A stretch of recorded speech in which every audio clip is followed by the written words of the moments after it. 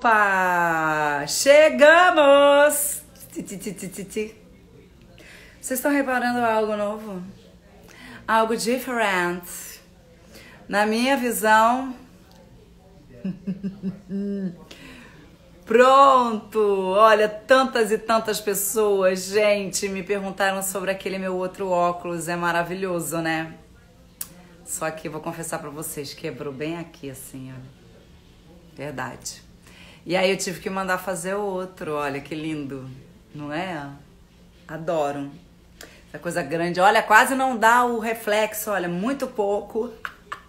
Esses detalhes todos a gente vê, a gente fica analisando, né? E eu acho que vocês que estão sempre me acompanhando, é, estando comigo nos meus stories, nas minhas postagens.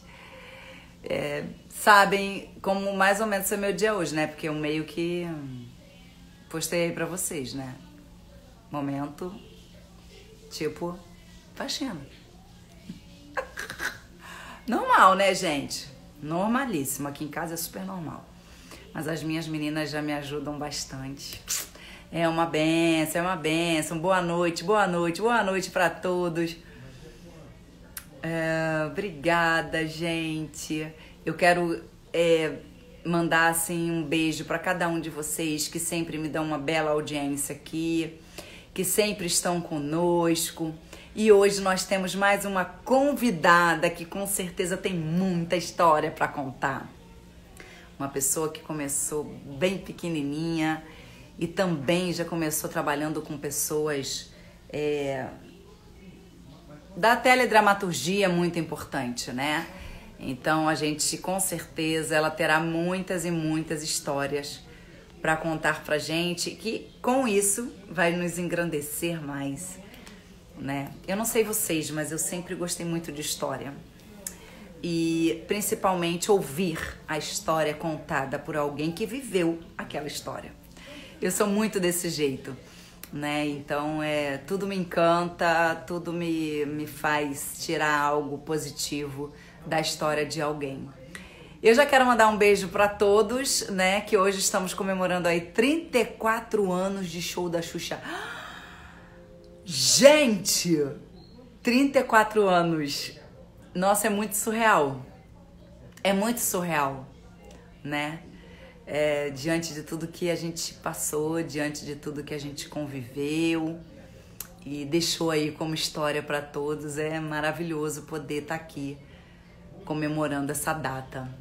E amanhã eu vou estar tá lançando duas coisinhas que eu acho que vocês vão gostar. Mas eu só posso falar amanhã, porque está em processo. É, ia ser hoje ainda, mas houve um, uma certa demora na, na parte burocrática, num processo processamento que tem que ter aqui na internet, essas coisas aí que demoram. Mas não se preocupem, porque amanhã a gente vai estar tá soltando. É, são dois presentes para vocês, né? E um que vai é, me ajudar bastante. tá bom? Então, olha, vamos conversar com a nossa convidada de hoje, que eu já vi que ela está aqui na live. Neste exato momento, pega essa setinha e sai mandando pra galera que vocês é, querem, falando que a gente está ao vivo neste exato momento para um super bate-papo maravilhoso. E as perguntas, claro, vocês podem mandar para onde? Aqui, ó, não interrogação, não interrogação, que aí sim a gente vai conseguir, eu vou conseguir ter um controle, vou passando para nossa querida amada, super, super simpática, sempre com um sorrisão no rosto, sempre com uma alegria tremenda, sempre com uma energia maravilhosa. Nossa linda Narjara Tureta. Vamos falar com ela agora. Ah, que coisa linda! Oiê! Para você e para os seguidores. Nós recebemos, né, gente? Faz assim. Tudo, tudo bom, minha fofa?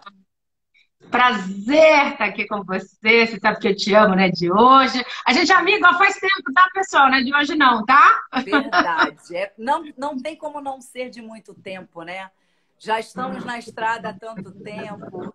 E pois faz é. que a gente se encontre em vários momentos da vida, né? Verdade! Né? Eu estava comentando com a sua assessora que eu vi, vi o comecinho do namoro de você e do Conrado. Olha isso! Olha, a pessoa que fala isso, a pessoa que fala isso sempre faz assim, ai meu Deus, eu vi esse começo de namoro, que é tipo assim, já tá tempo. 30 anos. Não é legal? Jara. Quanto? 30. Que barato. Eu fico tão feliz. Eu fico Segura tão feliz. Eu fico muito feliz, cara. Você não tem noção. Eu fico muito feliz, porque é bacana a gente saber que né, que, que eu participei, que eu vi é. e que deu certo, que vocês estão aí com duas filhas lindas e que continuam juntos. Então é bacana a gente saber que participou disso. Isso é, é muito. É, é um, né? Claro que é óbvio que vocês tiveram vários percalços, como todo mundo, mas estão aí juntos, o amor vence, né? Isso é muito bacana, eu fico super feliz por vocês. Imagina quando? Quanto? E aquele dia que eu encontrei vocês no carnaval, que eu fiz questão de, de fotografar com vocês, porque o carinho é muito grande, é muito grande. É verdade, a gente se encontrou bem no. Foi o quê? Domingão de carnaval aquilo? Ou foi antes? Agora eu nem lembro. Foi uma feijoada de carnaval do Otton, né? Foi, Sim. acho que foi é, foi, é, foi uma feijoada de carnaval. Foi depois, eu acho que foi depois, ah, não me lembro. Mas foi, é, não, me lembro exatamente que dia foi. Mas foi uma feijoada gostosa e aí eu encontrei você e conheci tuas filhas, gente, que loucura. Foi muito legal, cara. Foi é, muito, legal, legal. muito lindo. É muito bom, é muito bom. Eu falo para todo mundo assim, a gente tem que é, agradecer por termos história, por termos Verdade. experiência, né, Narjara? Nossa! É, eu sempre falo isso porque a pessoa que tem experiência, eu sempre gostei muito de escutar, né, história. Estava falando aqui no começo, mas eu gosto eu de ouvir histórias, porque cada um tem uma experiência, tem uma visão da vida diferente. Verdade. E eu acho que a gente escutando, escutando o outro, a gente só se engrandece, né? Tenta melhorar algo na gente, tenta puxar algo que você viveu como experiência Verdade. que não foi tão legal para você. E a gente, pelo menos, não passar por isso, né? Uhum. Então, isso é uma coisa muito importante que eu falo. Agora, eu, ah, eu preciso demais te agradecer. Oh. Uma coisa. O quê? Você está fazendo a live hoje comigo. Ah. Eu sei que hoje é um dia é, que, te dá uma dorzinha, com certeza. Mas eu espero que a gente consiga trazer a alegria que com certeza sua mãezinha sempre quis que você tivesse. Com certeza. Sempre era um dia feliz, né? Para quem não sabe, hoje a minha mãezinha faria 84 anos, aí ela se foi há quase dois anos. E a gente sempre comemorava, né? Então hoje eu até dormi até mais tarde, aí depois acordei, aí fiz uma oração para ela. Eu tinha umas florzinhas iguais a essa também que eu tenho no porta-retrato para ela, fiz uma oração. Aí fiz igual você também, fui, fui pra faxina. É? Gente, fui pra faxina. Faz parte, você tá morando sozinha? E eu tenho um gato, sabe? Que me atrapalha, que é uma graça. Então, eu não sei se eu rio, se eu mando ele. então, assim, para distrair um pouco, a gente faz faxina, né? Ai, é. meu Deus. Mas é isso, assim, foi um dia atípico, mas é, né? fazer o quê, né? Se ela vir, né? Então. Sim, mas é ela com certeza está sempre junto de você, você saiba disso. E eu tenho certeza que ela vai sempre estar mais feliz quando te ver feliz, quando te ver sorrindo. Tomara, né? Então, é, se Deus quiser, né, amiga? Ela faz uma falta do caramba, mas enfim, né? É. Saúde, Amanda. Ela gostava de um vinhozinho. Então... Tá tomando um vinhozinho? Eu também. Gente, eu tô também. Só que aquele, eu deixei longe de mim, é sorvetão mesmo. Mas não tem problema. Najara, conta para nós como começou Fala. a sua vida artística. Como, que foi uma mulher, tá certo? Não foi uma mulher não, filha. Foi não. Foi aonde? Eu comecei minha vida artística, eu tinha quatro anos de idade, foi quase no berço.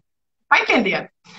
Porque eu queria ser atriz, e aí eu fiz meu primeiro teste com quatro anos e meio para uma novela na Record com três anos e meio, eu já tinha estreado no comercial. Eu quase estreiei aos três anos no programa do Moacir Franco.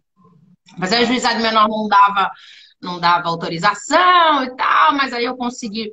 Eu fiz um comercial aos três anos e meio. Assim, para quem não sabe, o pessoal às vezes não sabe, comercial não tem nada a ver com televisão, tá, gente? Comercial é uma coisa e televisão é outra. Totalmente mas no diferente. exatamente. Mas no meio de comercial, a gente conhece gente que trabalha em televisão também, foi isso que aconteceu. Aí eu fiz um teste para uma novela, eu fiz, eu fiz um. Aos três anos e meio eu fiz um comercial para Lanches Mirabel. Depois eu fiz para o Miojo Lamen. Eu fui, fiz o lançamento do Miojo Lamen no Brasil. Olha isso. Você não nasci, né? Que Tinha ano quatro é anos. Fala pra gente o ano. O ano. 70 e. Peraí, eu sou de 66, 70, 71, por aí. Foi o lançamento do Miojo Lamen no Brasil. Foi quando o, o Lamen veio para o Brasil. E aí eu conheci lá uma pessoa que trabalhava na Record e me chamou para um teste para uma novela. A novela chamava Pingo de Gente. Eu fiz o teste, não fui aprovada assim. Eu fui aprovada pelo, pelo diretor e não fui aprovada pelo autor, porque eu era muito pequena, mas precisavam de uma criança pequena. Só que ah, o diretor ficou apaixonado por mim, que era Valdemar de Moraes, e o autor não. E a minha mãe, ela tinha me levado porque eu queria, eu não sabia ler, a minha mãe lia para mim, mas ela era uma pessoa muito consciente, porque nunca foi ela que quis. E ela sempre dizia assim: se depender de mim para ficar em porta de televisão, você nunca vai ser nada na vida. Mas ela queria dizer assim, que ela não ia ficar perguntando quem era quem. Mas, ao mesmo tempo, ela foi muito legal. Ela falava isso, assim, se dependesse dela, mas dependeu dela, ao mesmo tempo, ela, ela perguntava para mim se eu queria. Então, me levar para fazer fotos, ela perguntou: você quer fazer foto? Eu quero. Então, eu tenho fotos assim, hilárias que ela me levou para. Naquela época não era que nem hoje, tá, gente? Então, ela procurou lá um fotógrafo, tem fotos hilárias, toda bonitinha, toda assim, toda posando. Gente, eu tinha dois anos, três anos, e a minha, minha mãe saiu distribuindo as minhas fotos nas agências de publicidade. Então, dependeu dela, ela foi, mas ela perguntou para mim. Só que nessa vez da novela, o diretor falou com ela: a senhora, a senhora assume a responsabilidade? Minha mãe falou assim: não. E eu chorando, André, eu chorava. E a minha mãe disse assim: não. Aí ele, mas por quê? Disse assim: é, se chegar no meio do caminho ela disser que não quer mais brincar. É ela que quer, não sou eu. E eu chorava, André, eu chorava. Eu me, lembro, eu me lembro até hoje esse sentimento de raiva da minha mãe, porque eu não entendia. E ela fez a coisa certa, porque vai, era uma novela. Ela falou assim: o quê? Vai que isso é fogo de palha. Vai que chega um dia ela fala assim, ai, não quero mais. Ela falou assim: eu vou ter que obrigar minha filha a fazer uma coisa que não sou eu que quero. Não, Ela é- falou: ah, vamos pensar com a cabeça dela. Ela tem super razão. Porque, porque criança, às vezes, pode estar no fogo de palha. Quando começa a ver que como cansa o negócio, como aquilo tudo tem, uma, tem que ter uma. É, é muita disciplina. uma Você rotina, eu ia ter que falar, não quero mais, não quero chorar, chorar, chorar e não querer mais. Mas Detalhe, foi pra totalmente ao contrário. Pois é, e ela lia pra mim, pra eu decorar, porque eu não sabia ler. Eu tinha quatro anos e meio, eu ia ser a protagonista, André. Olha isso, olha quanto de texto que é. Aí se um dia eu chegasse, ah, não quero mais, não quero decorar. Ela ia ser obrigada. Entendido, Claro. É, eu acho que ela fez a coisa certíssima. Só que eu saí frustradíssima, eu chorava, gritava. E, nesse, e aí ah, deu aquela famosa história que Deus fecha uma porta de uma janela. Comigo aconteceu certo, não era para fazer a novela, mas era para estrear na televisão. Eu estreiei aos quatro anos e meio, que foi num programa chamado A Grande Gincana. Não é, não é Gincana Que Bom, que é uma outra coisa, mas é A Grande Gincana. Um programa do. ah, não sei se você chegou a trabalhar com ele nos Trapalhões, o Durval de Souza. Ele era, eu acho que você não pegou ele não, porque ele era muito amigo do, do, dos Trapalhões. Inclusive o Renato e o Dedé começaram com ele, assim, na televisão. É, a minha mãe lembra que o Renato e o Dedé entravam ne- ne- nesse programa com, com escada para fazer programa, entendeu? Porque o Durval era muito amigo deles. E eu participei desse programa. Eu estreiei nesse programa que foi em 71, na Mas TV Record em São Paulo. já era no, era no Rio de Janeiro mesmo? Não, não. Sou paulista, sou paulistana. Tudo em São Paulo. Tudo em São Então, Paulo. aí eu estreiei em São Paulo ao vivo. Isso assim, era praticamente ao vivo. A gente gravava num dia para passar no outro. Então, a minha estreia foi aos quatro anos e meio. E aí, o Durval, eu, eu, eu entrava, apresentava o Arreli e o Pimentinha, que eram, eram dois palhaços, e dizia monólogos. E aí sim, a minha mãe uh, lia, eu decorava, mas era uma coisa de um programa. E eu amava, eu fiz 13 programas, eu não ganhava em cachê. O Duval me pagava em brinquedos, porque ele não tinha, eu amava. Pra você ter ideia, eu fiz xixi na estreia, eu, fiz, eu mijei no palco e fingi que não era comigo. Né? Aquele xixi escorrendo. E eu assim, impávida! Mentira! Até Olha, cara de, é atriz mesmo, é, já, é cara, já era cara de pau. E olha a cara de pau, o xixi escorrendo. E eu assim, eu continuei como se nada tivesse acontecido, era emoção. Isso minha mãe contava, que essa parte eu não me lembro, não me lembro do programa, mas essa parte acho que eu deletei daqui. Lembrou que fez xixi ao vivo? Porque nessa época, a televisão, ela, ela só era ao vivo. Tô errado? Pois é, a gente é, era praticamente ao vivo. A gente gravava no sábado para passar no domingo. Era tipo corrida, a gente não tinha, não tinha uma emenda. Então era praticamente ao vivo. A gente gravava no Teatro Augusto em São Paulo. Eu me lembro bem, para Record. Legal.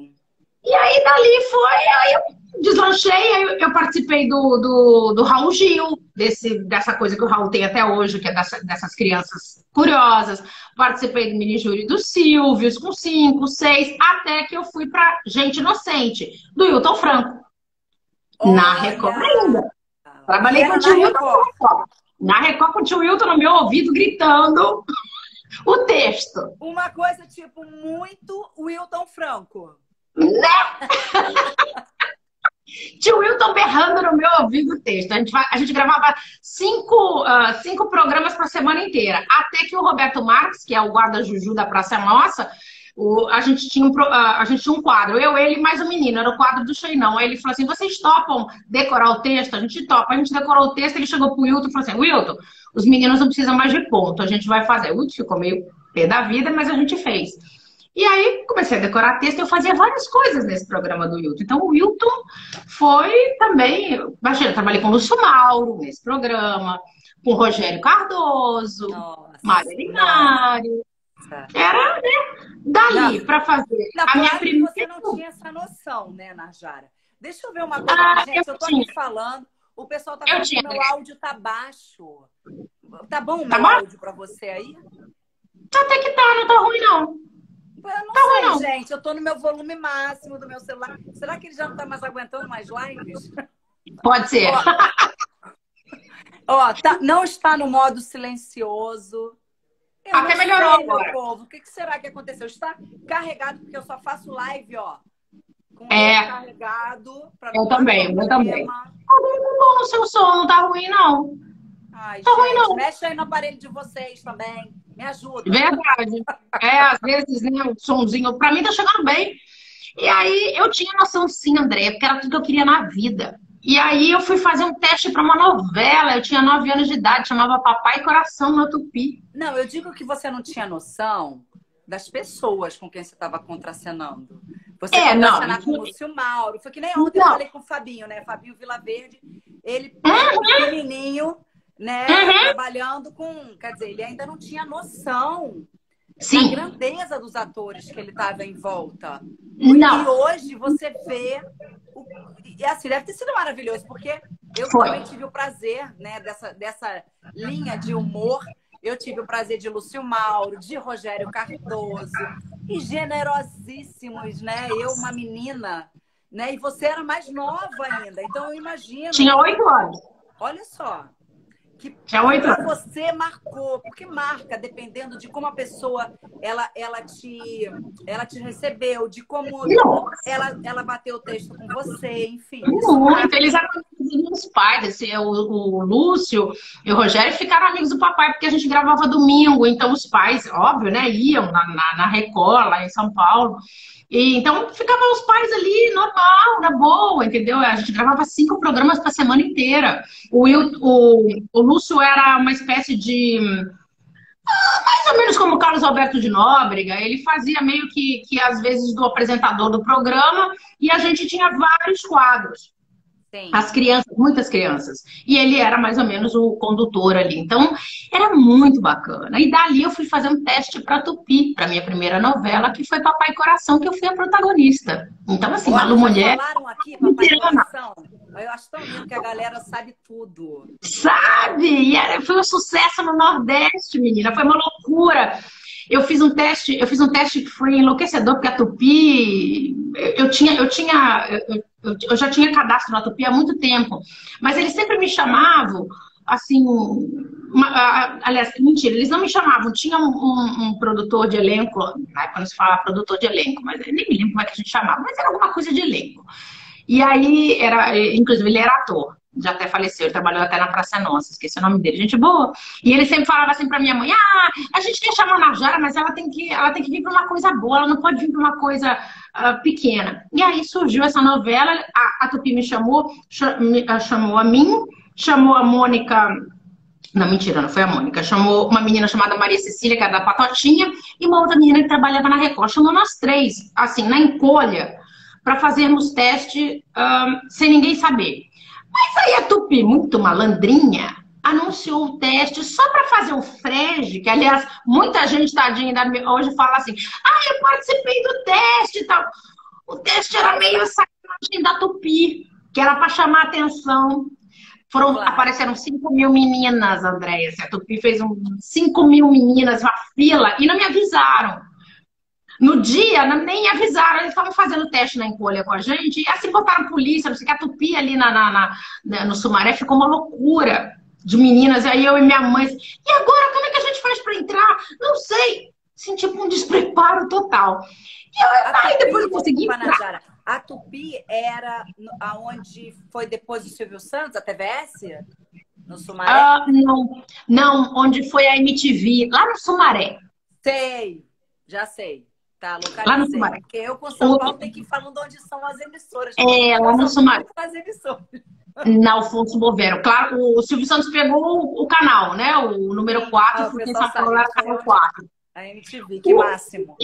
É, onde é aquele prédio da MTV. Sei. E aí eu fiz essa novela, acabei sendo, depois de muitos testes, o Carlos Zara era o, era o diretor artístico, ele não me queria de jeito nenhum. Ele queria uma outra menina que já tinha feito novela. Eu, como não tinha feito novela, então, ah, essa menina, não sei o que tal. Só que eu era muito parecida com o Paulo Goulart. Quando eu cheguei para fazer, assim, eu tinha, a gente tinha uma entrevistinha rápida com o Paulo Goulart. Isso aí, cinco mil meninas, coitada, Paulo Goulart, Anissete. O Paulo, quando me viu, falou assim: Olha que linda, Anissete, ela parece minha filha. E eu parecia a filha do, do Paulo Goulart. Olha. Aí você só tinha que chegar perto dele e fazer puf, que a menina falava puf, né? Aí eu fiquei ali e tal, aquele monte de gente. Enfim, foi aprovada. Menina, foi uma loucura, foi maravilhoso. A Tupi me lançou assim: Eva Vilma que se cuide, está nascendo uma nova atriz na Tupi. Ah. Que a Eva Vilma era grande estrela. E a Eva Vilma era minha ídola. Eu amava aquela mulher, ainda amo até hoje. Hoje ela é minha, minha amiga e fala de mim. Ela assim, é o babo, né? Escorre baba aqui. Porque eu, eu via Mulheres de Areia, eu queria ser como ela, achava ela linda, né? E ela, tipo, na época cagou e andou pra mim, porque eu era uma criança ferralha. É aquela coisa assim, né, Najara? Tipo, né? Ah, olhando assim pra Nossa. cima, como é linda, né? É, exatamente, eu olhava pra cima, porque é uma coisa, aquele cabelo dela. Ela é tinha. Até hoje ela continua bonita, ela é uma senhora muito bonita, mas ela era uma deusa. E eu queria ser ela. Né? E porque assistia a novela da Tupi, é, caía, é, é, onde eu morava, pegava novelas da Tupi. Então era uma coisa. E aí foi a minha grande estreia. Então, quando eu fui para Malu Mulher, eu já era veterana, minha filha. Eu tinha oito anos de carreira. Agora eu fui pra... Eu tinha 12 anos de idade, oito de carreira. O Não, que, aliás. E fazendo já trabalhos com, com textos Exato. enormes. Sim, o que, aliás, foi o passaporte para Malo Mulher, porque uh, eu, eu consegui o teste para Malo Mulher graças ao Ednei Giovenazzi, com quem eu estava fazendo uma novela na Tupi. Já era minha quarta novela na vida, era salário mínimo que eu fazia filha da, do, do, da Nissete e do Ednei Giovenazzi. Eu, eu acabei Papai Coração, aí eu quase fui para Éramos Seis, tinha, éramos seis, tá, gente? Na Tupi. Eu quase fiz, mas por que, que eu quase fiz? Porque eu fiquei doente, eu peguei hepatite gravando em Santos, eu peguei hepatite, tive que sair, a novela não tinha estreado ainda, eu tive que sair. Chorei, chorei, chorei, chorei. Neste mesmo ano, meu pai faleceu, eu fui para TVS, que hoje é SBT, Tá. Silvio estava começando, eu fui para a TVS, ali no Sumaré, pertinho. Ele pegou um teatro abandonado ali, e, e, aí começou. Eu fiz uma novelinha de cinco capítulos e uma de 60. na TVS, que não passaram em São Paulo, passou no Rio, passou em Manaus, passou Pará, mas não passou, não passou em São Paulo. Oh, que doido. Você vê que foi. Muito doido, eu não vi, né? Aí voltei para Tupi, fiz salário mínimo. Fiz salário mínimo, que foi quando o Ednei Jovenazzi, foi quando começou uma história dizendo que a, a, a, TV Globo estava procurando, porque todo mundo falava assim, ah, não tem que ir pra Globo, não tem que ir pra Globo. E minha mãe, ah, tá. Na, imagina, eu vou pro Rio, fica na Mas porta da TV nessa, nessa época estava começando, né? Que já vinha muito forte.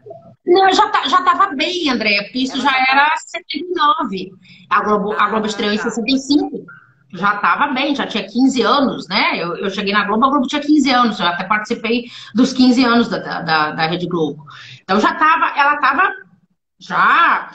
A Tupi ganhava dela no Nordeste. Porque no Nordeste ela tinha, a Tupi tinha uma grande penetração, por isso que eu te disse que a minha novela, que Papai Coração, era uma novela que tinha bastante ibope, porque a, a Tupi tinha uma força muito grande. Na... E ainda tinham atores que ainda estavam na Tupi, tipo Tony Ramos, Laura Cardoso, Irene Ravache, essa turma toda ainda estava na Tupi, olha que loucura. Uh, o, o Denis Carvalho tinha recém ido, ele estava na Tupi, e aí ele foi para a Globo, então o Fagundes ainda estava na, na Tupi, então essa turma toda ainda estava na Tupi. Já a Regina Duarte veio da TV Paulista, Francisco Coco veio da TV Paulista, não chegaram a passar pela Tupi. E aí eu fui fazer o teste, eu vim, eu vim para o Rio para fazer o teste, eu estava gravando a novela em São Paulo. Aí, a, graças ao Ednei Juvenaz, eu vim fazer o teste sindicado. Fiz o teste, vários testes, e ainda tive que pedir, pedir dispensa para Tupi, uma loucura. Tudo por conta própria. E eu, eu, eu passei, ou melhor, eu não passei. Assim, a Monique Cury foi a escolhida, eu fiquei em segundo lugar, porque eu já era uma, uh, grandinha, assim, já era bem encorpadinha. E a Monique, a Monique mais era menorzinha. Bem mionzinha. A Monique tem um, um, ano de diferença de mim, mas ela é mais mionzinha. Uhum. E aí, como Malu não era o programa que foi ao ar, Malu era outra história, escolheram a Monique e me mandaram embora com uma carta linda, dizendo que não era pelo meu talento, que eu não tinha sido aprovada. Eles ficaram encantados comigo. Mas como o programa não era aquilo, então escolheram a, a, a Monique e aí falaram assim: ah, ah, não é pelo talento que você não foi aprovada, ia ter o seu teste foi enviado para o departamento de elenco e provavelmente você vai integrar alguma coisa da Globo. Aí voltei para São Paulo. Nisso estava uma loucura, assim, a Tupi estava meio fecha, não fecha, acabei a novela lá. A Tupi fez uma proposta para minha mãe para renovar, minha mãe pediu bem alto, ficou aquela coisa e tal. Aí eu, pô, agora não vou nem para Tupi nem para Globo, tô ferrada, né? Como eu te falei, Deus escreve certo minhas palavras, fecha uma porta, abre Malu já ia estrear. Estavam, vem aí, Malu, a desquitada. Eu, ah, lá o programa que eu ia fazer. Aí, um belo dia, eu recebo um telefonema da Maria Carmen Barbosa, que era a produtora da, da, da do Malu. Aí a gente estava chegando, eu estava chegando no colégio com a mamãe, e ela parou o carro, eu gritei, mãe, é da Globo! Aí a mamãe veio, correu atender e tal. Aí a Maria Carmen, a Carminha, que a gente chamava ela de Carminha, ah, é, uh, vem pra cá, não sei o que. A minha mãe falou assim, ah, mas é, é feriado. Era um, a minha mãe nunca se esquecia, era, foi uma sexta-feira da paixão, dia 13. Mas sexta-feira é meu dia de sorte, dia 13. Aí a gente veio pro Rio, mandaram a passagem. Então, quando chegou aqui no Rio, eu pensei, falei, ah, gostaram de mim, deve ser pra ser fi, é, amiguinha da Elisa, que bom. Então, toda, né? Achando que um prêmio de consolação, tava feliz da vida. Aí ela falou assim, não, é para ser a Elisa mesmo, para bater é, três, quatro páginas de texto com a Regina Duarte, precisa ser uma então a gente escolheu você. Eu, falei, eu não entendi nada. Eu falei, ué, mas é a outra menina. Aí me chamaram e tal, eu fiquei sabendo de tudo que aconteceu, que não foi, né, a Monique não tinha nada com isso, que foi uma, uma, uma história de reestruturação, que o programa realmente, se fosse ao ar, o Boni viu que o programa não ia dar ibope, que não era, é, segundo as palavras, depois que me contaram as palavras do Boni, era ele queria um programa que causasse impacto, que quebrasse tabus. E do jeito que o programa estava, não tinha a menor graça. E ele tinha uma visão. E aí ele queria, então, que essa menina tivesse mais, uh, mais impacto com a, com a, mãe, que batesse mais de frente, que fosse mesmo adolescente. E aí me chamaram. Então, assim, já me chamaram, já praticamente na semana seguinte já comecei a gravar. Foi uma loucura, uma loucura. Assim. Uma a gente meio às feras. Mamãe... embora pro Rio de Janeiro. Eu não cheguei a vir embora. a Globo foi assim meio, né? ela nos deixou, a minha mamãe, meio sem chão, assim, meio a Deus dará. E a Regina nos deu cobertura, a Regina nos abrigou na casa dela.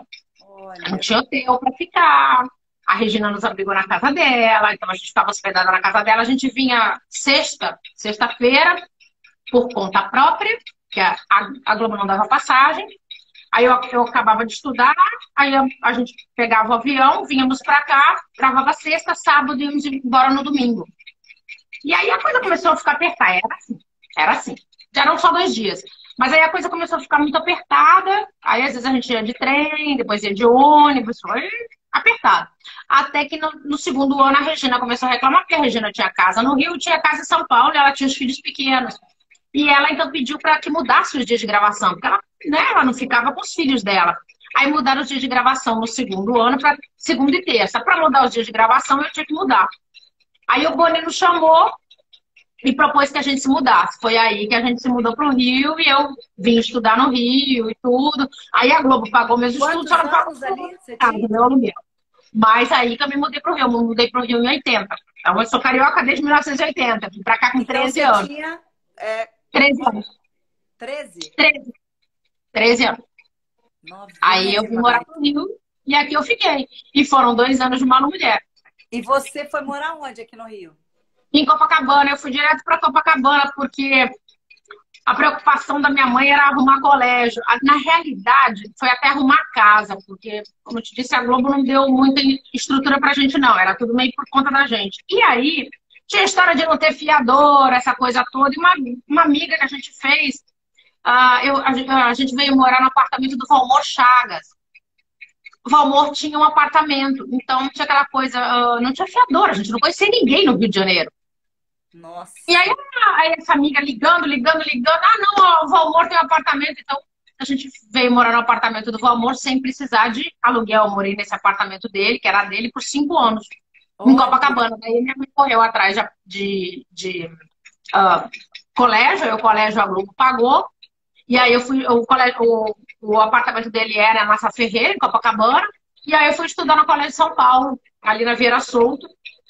E foi maravilhoso, assim, foram... Tudo pertinho, era tudo pertinho. Tudo pertinho, eu ia a pé. E aí eu moro, né, fico, fiquei em Copacabana esses anos todos, assim, não, não saio de Copa. E tô aqui há... Já fez, quanto tempo que eu tô aqui? Quase, quase é, 30, sei lá, já até perdi a conta, mas eu tô aqui desde 1980. 80. Desde 1980. Então, né?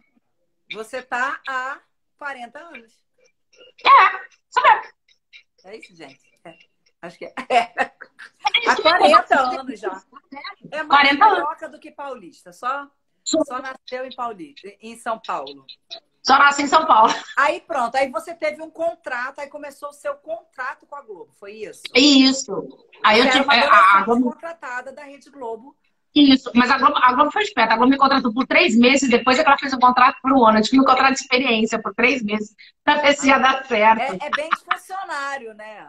Vou fazer uma Exato, bem CLT. É, bem CLT, tem experiência, tá? É. Foi onde eu tive que tirar meu DRT, essas coisas que eu não sabia nem. Né? Eu, eu trabalhava desde que a profissão não era nem reconhecida. A profissão foi reconhecida em 1978. Eu já tinha contrato com, com a Record, com a, com a Tupi em 76. Olha! Então, e a, a Globo exigiu que eu tirasse carteira carteira. A minha primeira carteira é, foi com 12 anos. Isso, certinho. Isso. É, eu também isso. tive que tirar. Porque quando eu entrei para Xuxa, eu tinha 12 anos. Também, Ai. 12 anos. E, e aí não tinha carteira de trabalho, né? Nem o DRT, porque e eu soube também que eu acho que o DRT agora é, a criança não precisa tirar. Pois é. é. Eu acho que tem uma tem uma idade que é, começa a ser necessária, entendeu? Ou é 21, Sim. ou 18 ou 21. É, seria lógico, porque aí a criança, a criança daí acumula trabalho. Eu já tinha como provar, porque eles pediram se eu tinha alguma coisa para provar, e minha mãe levou todos os meus contratos da, da Tupi pronto. e tal, e rapidinho o Ministério deu.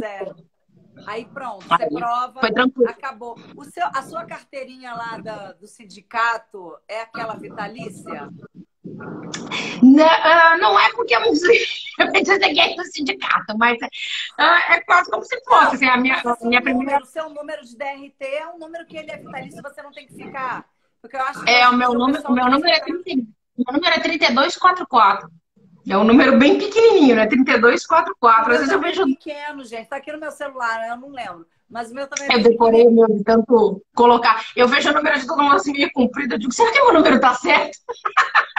O meu também é bem pequenininho, cara. Esse é o máximo, né? Porque pelo menos a gente já teve um registro da nossa Exato. profissão. Exato. Logo cedo, né? E isso é essencial. Exato. Isso é essencial é. para nossa profissão. Tem que ter o um registro mesmo para a gente poder trabalhar. Pois é.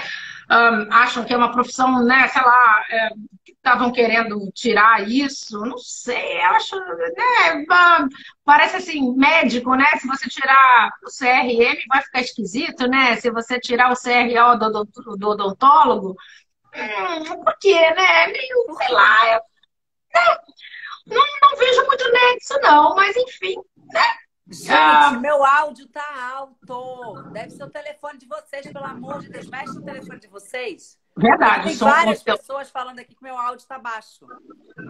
Teu Ai, som tá bom. Eu tô aqui nervosa. Não deixa pra... Ok? Não, o áudio é horrível. Deve ser seu telefone, que eu já mexi aqui, Jesus. Eu tô te escutando muito bem. Pronto. Eu acho assim que o meu. Eu não tenho como colocar, por exemplo, o fone de ouvido. Porque o meu é aquele que aonde carrega é o mesmo lugar onde. Uhum. Não sei porque inventaram desse jeito. Né? Tinha que ter o buraquinho do fone. Verdade. Pra atrapalhar a gente. Eu quase nunca faço live com, com, com fone de ouvido, engraçado. Praticamente nunca fiz. É muito melhor, porque eu já fiz. É. Só que a bateria, eu fico com medo da bateria começar a. Porque como a gente está usando muito tempo, Exatamente. a bateria ela cai um pouquinho mais rápido. Cai. E aí, daqui a pouco, ela começa, a, a imagem começa a oscilar. É um saco. Eu prefiro ficar com a imagem perfeita, com o som Também assim, entendeu? Eu tô te ouvindo Bom, super então, bem. vamos lá. Depois de Malu Mulher, então, que foi o seu grande contrato com o Globo. O que que veio a seguir? Aí eu assinei um contrato de um ano porque o Manuel Carlos ficou com medo que a Globo não me pegasse e tal. O Manuel Carlos escrevia Malu Mulher. Ele, ele escrevia, escreveu vários episódios de Malu Mulher. E aí ele era muito amigo, era muito amigo, a gente ia pra casa dele quando, quando a gente vinha pra cá, era muito legal a gente ia pra casa dele, mamãe, ele conversava muito com a minha mãe, porque ele baseava a Elisa nas minhas coisas, era muito interessante. Ah. E aí ele escreveu a novela Baila Comigo, então ele me pôs a novela e com medo que a Globo me contratasse, ele me pôs a novela. Só que foi muito engraçado, que ele, é, a minha personagem ia entrar no capítulo 30, entrou no 93. Mas tudo bem, eu assinei contrato com a Globo de um ano e fiquei lá esperando. E nada da personagem entrar. E aí foi eu e a, fui eu e a, e a Fernandinha Torres, a Fauna e a Flora. Fomos filhas do, do da, oh meu Deus, do Jonas Melo e da Sueli Franco, que era um casal de gaúchos e tal. Foi bem legal. Foi muito rápido, mas foi bacana. E aí, aí eu fui emendando um, contrato no outro, fui fazendo. Depois eu fiz uma novela chamada O Homem Proibido, com a Savala, com a Lídia Bronde, aí já foi uma novela das seis. Uh, foi, foi bem legal, também fazia irmã do, do Edson Celulari e do Stepone Cician filha do Milton Moraes. Foi onde eu dei meu primeiro beijo na TV, foi muito engraçado. e foi com o filho do autor. Tinha 15 já, tinha 15. Olha, tipo, né? Deus, engraçado. Debut. E nessa época eu tava fazendo uma peça com Laurinho Corona. Foi com ele? Não, eu estava fazendo uma peça com o Laurinho, é, fazia uma peça chamada Simba. A novela era, era com o filho do, do, do autor, que era o Teixeira Filho, e a novela era com o filho dele, com o Cleston. E aí eu tinha que dar o um beijo, aí eu perguntando pro, pro Laurinho, Laurinho tirando sarro da minha cara, olha, é muito engraçado, gente. muito engraçado. Ele me sacaneando, foi muito bom. E aí foi, aí fui, fiz essa novela das seis, depois eu fiz, o que, que eu fiz? Aí eu fiz um, um tipo de uma quarta nobre, em 84 foi que eu fiz a minha grande vilã, que foi a Bel de Amor Como Se Paga. E foi maravilhoso, né? Aí. E isso, depois de estar um tempinho também um pouco fora, de começar, ah, porque você tá gordinha, porque você não sei o quê, comecei a enfrentar, assim, essa coisa da beleza, assim, sabe? É, porque é na adolescência, né, você começou a... O Exato. hormônio começou a mudar um pouco. Sim, do hormônio, eu comecei a engordar, emagrecer, eu engordava demais, assim, né? Eu sempre fui o peso estável, de repente você começa a engordar, aí você emagrece, ah, não tem papel para você que está muito gordinha. Gente, foi meio punk. E aí eu emagreci, apareceu esse personagem e foi maravilhoso. Foi a primeira vilã que eu fiz, aliás, primeira por enquanto única, mas eu amei fazer a Bel, né? De Amor com Amor se Paga. Em Amor se Paga, é isso? É, Amor com Amor se Paga, a novela do Amor com Amor se Paga. Que era Ari Fontoura. Sim, ah, eu adoro o Ari, gente. Sou Maravilhoso. Eu Ai, também. E ele tá arrasando nas redes sociais, né? Ele tá, tá, tá ele tá. Ele, e ele, pessoalmente, ele é uma figura, gente. A gente ria tanto. Ó, e eu... aproveitar falando que você falou de amor com amor se paga. O Denilson tá perguntando aqui, ó. Denilson Andrade. Como foi Fala. contracenar com o Fala Bela e Arlete Salles? Ai, demais. Demais. Um o Fala Bela foi a primeira novela, é, foi a primeira novela dele. Foi onde eu o conheci. E era muito engraçado porque eu olhava para ele assim, Miguel, onde que eu posso ser teu irmão? Tu loiro de olho azul, eu, eu, Lindo, eu, né? eu moreno, gente, muito engraçado. E eu tinha raiva dele e da minha irmã, era a, é porque ele era o filho, ele era filho queridinho da minha mãe, que era Beatriz Lira, minha mãe só pensava nele. E a Cláudia Hanna era a filha adotiva e eu era o patinho feio da história. Então era, eu tinha embates com o Miguel, era muito engraçado ter uma cena hilária que outro dia alguém lembrou eu estava fazendo as unhas, e isso foi um caco do, do Miguel. Para quem não sabe, caco é o que não está dentro do texto. Miguel entrava e dizia assim, era o Renato, afiando as garras, Bel. Eu, engraçadinho. E daí ele falou assim, eu vou botar um caco. Eu falei, tá. E aí ele, da, ó, o rei dos Bel. Né? É, ele, é o rei, ali ele começou. E, e aí você que não fique ligado, né? Não, a gente se divertia. Isso, gente, ele era né, moço. E a gente se divertia tanto nos bastidores. Nessa época, com a Arlete Salles, eu já estava tendo o prazer de atuar com ela no teatro. E nessa mesma época, eu comecei a fazer uma peça chamada Venerável Madame Gonot, no Teatro Mesbla. E eu era irmã da Débora Duarte. E a gente fez uma temporada maravilhosa, ao mesmo tempo eu fazendo a novela. Nisso a Débora Duarte foi para uma novela, aquela novela do. Eu esqueci o nome, era a novela que tinha o Flávio Galvão, que era o demônio, não sei o que e tal. A Débora saiu da peça e entrou a Arlete Salles. Então eu comecei a atuar com a Arlete no teatro e aí ela também entrou na novela, então foi maravilhoso. Só que na novela a gente não contracenava, porque ela era amiga da Iona Magalhães. Então a gente ah, só se via em festinhas da novela. Então foi muito gostoso. A Arlete é uma pessoa maravilhosa. Ela escreveu. Eu tenho um caderninho que eu pedia sempre assim. Eu dizia que não era autógrafo, era um carinho. Então eu tenho esse, esse caderninho, André, com várias dedicatórias de várias pessoas incríveis. Você tem noção? Arlete, Débora, Lidia Bronde, Savala, Regina, Edna. Eu tenho assim umas coisas incríveis assim que eu Você guardo com muito carinho. Corona, também, já que você tá Tenho. Tenho do Lauro Corona. Tenho. Tenho. Tem assim, é incrível, né? Foi o Laurinho, o Laurinho foi um amigo incrível, porque eu conheci ele na casa da Glorinha, da Glória Pires, porque a Glorinha, a gente é amiga, assim, quase que independente de novela, que a gente ficou amiga nos bastidores do MPB Shell, que era um.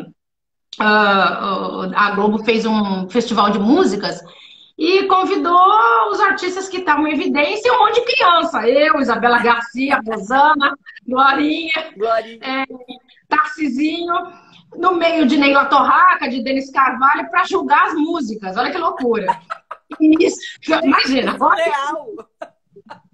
Muito surreal, né? O que a gente entendia de música? A gente entendia.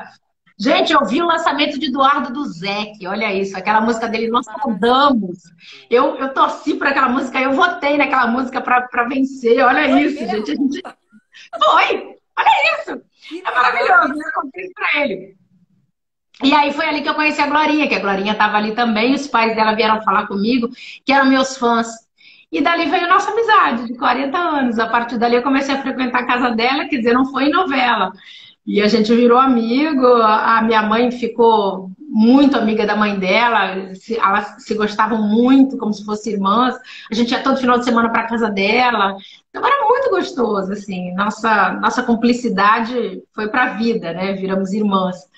Hoje, até hoje, a gente é irmã. Ela me trata como irmã, então é uma pessoa que eu tenho o maior carinho. Trabalhar mesmo, a gente trabalhou muito pouco. A gente. Eh, eu fiz direito de amar com ela, mas tivemos uma cena e outro lado do paraíso, que a gente também teve uma ceninha que a gente achou que o Valci fosse escrever. Eu tive uma cena com ela que foi muito engraçada, a gente se abraçou, se beijou no meio da cena e tal. Mas aí também foi porque ela comprava o bordel onde eu trabalhava, a gente viu pra caramba, mas depois. E não trabalhava, olha que louco, né? Não chegou a trabalhar Nossa... quase. Ainda, Nosso né? Sonho... Vocês estão é... aí. Nosso sonho é contracenar muito, assim, porque a gente é, ela é muito palhaço também. Então, se a gente contracenar, mas a gente junta não presta, sabe? a gente não, ri muito. Eu lembro uma vez que a gente era, era algum evento na apoteose. Hum. E aí eu fui, eu fui, eu, eu tava indo como atração do evento e o carro me pegou em casa. Ah. E no caminho ela morava ali em Ipanema. Sim, na Garcia d'Água. Isso. No caminho, o carro pegou, falou: a gente vai pegar a Glória Pires. Menino, meu coração fazia assim, porque eu não a conhecia. Eu só que maravilha. a Cleo, que a Cleo ah. ia muito no show da Xuxa, né? Cleozinha estava grudada lá, mas a Glória tá trabalhando, ela não ia. E aí, claro. aí, cara, quando ela entrou no carro, eu fiz assim: Oi, Glória, Soledad, maravilhosa! Ela. Ela. querida. Ela é. Eu falei assim, eu tipo, meu Deus do céu, Glória. Ela tipo, ela me conhece. Para com isso. Sabe quem eu sou? Ah, ela é uma linda, é uma linda, é ela uma linda. Ela é um Nossa. ser humano incrível. São pessoas diferenciadas, né? São. São. São. Aprendi muito com ela, ainda aprendo. Ela me dá muitas dicas, aprendi muita coisa com ela. O que você falou de experiência, essas coisas assim. Glorinha é muito mãezona, sabe? Assim, ela me puxa as orelhas, me dá conselhos, faça isso, não faça aquilo, sabe? E eu a escuto muito, porque eu sei que ela quer o meu bem. Então, como ela também aprendeu, ela passa para mim, sabe? Isso para mim é muito importante, porque é, é, como eu não tenho irmã, então ela virou minha irmã, né? Ela cuida de mim como se fosse minha irmã. Então, isso é muito importante, né? Bacana isso, que uma pessoa que está no meio que sabe tudo do meio, assim como eu, cresceu no meio, ela me admira, ela, sabe, gosta de mim, gosta do isso é, é, é, muito bacana isso, né, André? Então, às vezes as pessoas falam, ah, nosso meio isso, nosso meio aquilo. Gente, é um meio como outro qualquer. Tem. Que tem gente que é bacana, como tem gente que não é tão bacana. Ponto. Tem gente que você se dá melhor, tem outras que não. É normal isso, gente. É, Como no mas, escritório. Mas tem o grupo no WhatsApp. Você tem, você tem algum grupo no WhatsApp? Não, porque eu não tenho saco. eu odeio o WhatsApp, André. Eu odeio. Eu, aliás, eu entrei no WhatsApp por causa de Glória Pires. Ô, pai eterno, como eu odeio aquilo. Odeio. Ela assim, ai, mas não sei o quê. Tá, tá, tá. Não, beleza, ok. Mas olha, eu odeio, assim, ficar de bate-papo só com um ou com outro que eu, que eu gosto, que eu converso. É coisa só para trabalho mesmo. Né, Sim, ao mesmo tempo eu tenho raiva de trabalho, porque assim, eu acho absurdo que as pessoas não te ligam mais. Eu sou é. dubladora. Aí a pessoa antigamente, oi, Najara, tem um horário pra você que. Às vezes, pô, eu tô limpando a casa, eu largo o celular, gente. Eu não, eu não nasci grudada nessa coisa, entendeu? Eu não... E aí quando eu vou ver, ih, tem um. Ih, meu Deus do céu, peraí, deixa eu ver aqui, tem um negócio que tá me chamando. Eu digo, Porra, não se toca mais essa coisa, né? Eu tenho a música da Adele aqui, minha filha. É o Skyfall que toca. Eu quero escutar Skyfall, me liga. Sabe?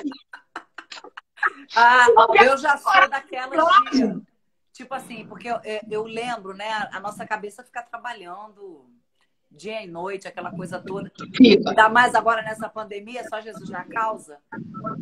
É, aí, tipo assim, eu lembro de alguma coisa, ou eu tô criando aqui alguma coisa. Nossa, eu acho hoje o WhatsApp super essencial, porque eu não teria, é, eu não teria, é, como é que fala, assim, é, paciência de esperar o dia seguinte para poder falar, por exemplo, com a Adriana, que cuida das minhas coisas aí, com o André, que cuida da, da, minha parte do canal do YouTube, eu não teria paciência. Então, eu sempre faço assim, gente, desculpa o horário, mas é que veio isso na minha cabeça e mando. Pronto, eles vão acordar e vão ver. Eu mandei, entendeu? Bom, a mim você já não acordaria, porque eu já durmo de celular longe desligado. Então não tem esse problema. Pronto. Não, mas eu digo assim, aí pelo menos quando eles acordarem. Ah, sim, porque, não, porque tem gente que dorme com, a, com o negocinho ligado do lado, né? Não, não sei como não. é que consegue. Aí eu desplugo Oxe. mesmo, senão não consigo dormir. Eu tenho que desplugar, porque senão eu não consigo dormir, não. Não dá, eu não consigo, gente, não dá. Ficar ligado com isso 24 horas por dia não dá, não tenho paciência. A minha paciência não dá, não tenho, não, não consigo. Eu não consigo ficar grudada assim o tempo inteiro, sabe? Assim, tem horas que até desliga. Ah, tá, você falou comigo. Não dá, André. Eu sou de uma geração que, assim, eu, eu gosto de. Eu gosto de papel. Pra você ter ideia, eu gosto de papel. Eu tenho que pegar papel, assim. Decorar não, no, no celular. Muita coisa ainda, assim. Eu prefiro escrever, ter aquela coisa de olhar, escrever do que, por exemplo, digitar. Eu prefiro. Digitar é e para decorar recado, também. fazer essas coisas ou outras. Senão não dá, não. Olha só, Najara. Ah, peraí, deixa eu. Ela já me. Ela já, a Lica, a Lica Richelli está perguntando aqui se você nunca viu uma cena de Solar Paraíso. Já vi, já vi sim. Eu já vi pelo seguinte, porque um rapaz, Solar Paraíso é uma novela da TVS, que eu te falei, que passou e aí, um rapaz, ele me mandou, ele conseguiu. Menina, mas eu ri tanto, gente, vocês não têm noção. Eu, ri, eu tinha 8 para 9 anos. Não, 9 para 10 para 11. Foi antes de fazer salário mínimo. Mas eu ri tanto. Eu falei, gente, olha isso. Eu me chamava Noca e eu era chefe dos, das capetinhas. Tinha as capetinhas e os capetinhas. Olha isso. Olha. Gente, era muito engraçado, o meu jeito, o meu jeitinho todo assim. Eu falei, gente, o que é isso? O que é esta menina? Olha, mas eu, eu vi, e eu acho que o rapaz até me mandou. Olha, eu amei, amei, assim, porque é engraçado. Eu, eu, eu vejo coisas minhas no YouTube, inclusive de Papai Coração, que é uma coisa que, né, eu tinha nove anos. É tão engraçado me ver, André, é tão bacana, porque você de uma nova geração, você já consegue. Eu, que já tenho 50, vou fazer 53 anos, naquela época eles conseguiram recuperar. Então, para mim, é um é presente me ter com 9 anos. É porque, olha só, é um eu fiz uma participação em Ciranda de Pedra, que foi o meu primeiro ah, trabalho. Eu assisti. Ciranda de Pedra. Eu, então, eu fiz a Priscila Camargo, é. pequena. Eu fiz ela quando Tudo a ver. E aí eu não tinha, não tinha videocassete. No entanto, eu não é. tenho imagem, eu não tenho nada dessa época. Eu só tenho. Desculpa, não tenho nada, não, minto. Eu tenho uma, uma revistinha da Sétimo Céu, com Tony Ramos na capa, é, que eu não esqueço. Olha que louco. Saindo, falando. Ah, é, elas serão as, as três irmãs, que era. Sim era Priscila Camargo, a Lucélia. Lucélia Santos. Isso. As três irmãs pequenas são essas, as, crianças que irão fazer. Que legal! Eu só tenho isso. Aí tem nossa foto, eu com as duas irmãzinhas. Sim. É a única recordação, assim, do momento disso que eu tenho. Eu não tenho imagem, a Maria tem imagem. Sim. Mas demorou para vir o videocassete, para a gente ter acesso a isso. Malu Mulher, que é 79, as pessoas uh, já, já tinham videocassete, o, o Daniel, o Denis, era ah, coisa de gente dinheiro, né? milionária, né? porque ia para os Estados Unidos, comprava JVC, Olá. trazia de lá JVC, era o máximo, era gente rica. Então, assim, eu, ai, que legal, que máximo, eu quero ter um desses. Gente, no máximo isso. É, então, hoje em dia, todo mundo tem um celular, gente, olha. Vocês não sabem o que é isso! Não, e no entanto, olha só, eu peguei todas as coisas depois que eu tinha em fita de, de VHS, passei para DVD. E eu fico morrendo de medo de jogar a fita VHS fora. Tipo assim, eu fico naquela noia de não ter passado, sabe? Pois é. Eu tenho muita coisa ainda. Eu, aliás, eu tenho tudo em, em videocassete ainda, em cassete ainda, que ainda não consegui, porque né, é caro. Mas então eu ainda não consegui. devagarinho. Vou fazendo devagarinho, porque é. eu tenho é. muita coisa. Inclusive coisas que eu editava. Você sabe que as fitas VHS, elas mofam, né? Elas mofam.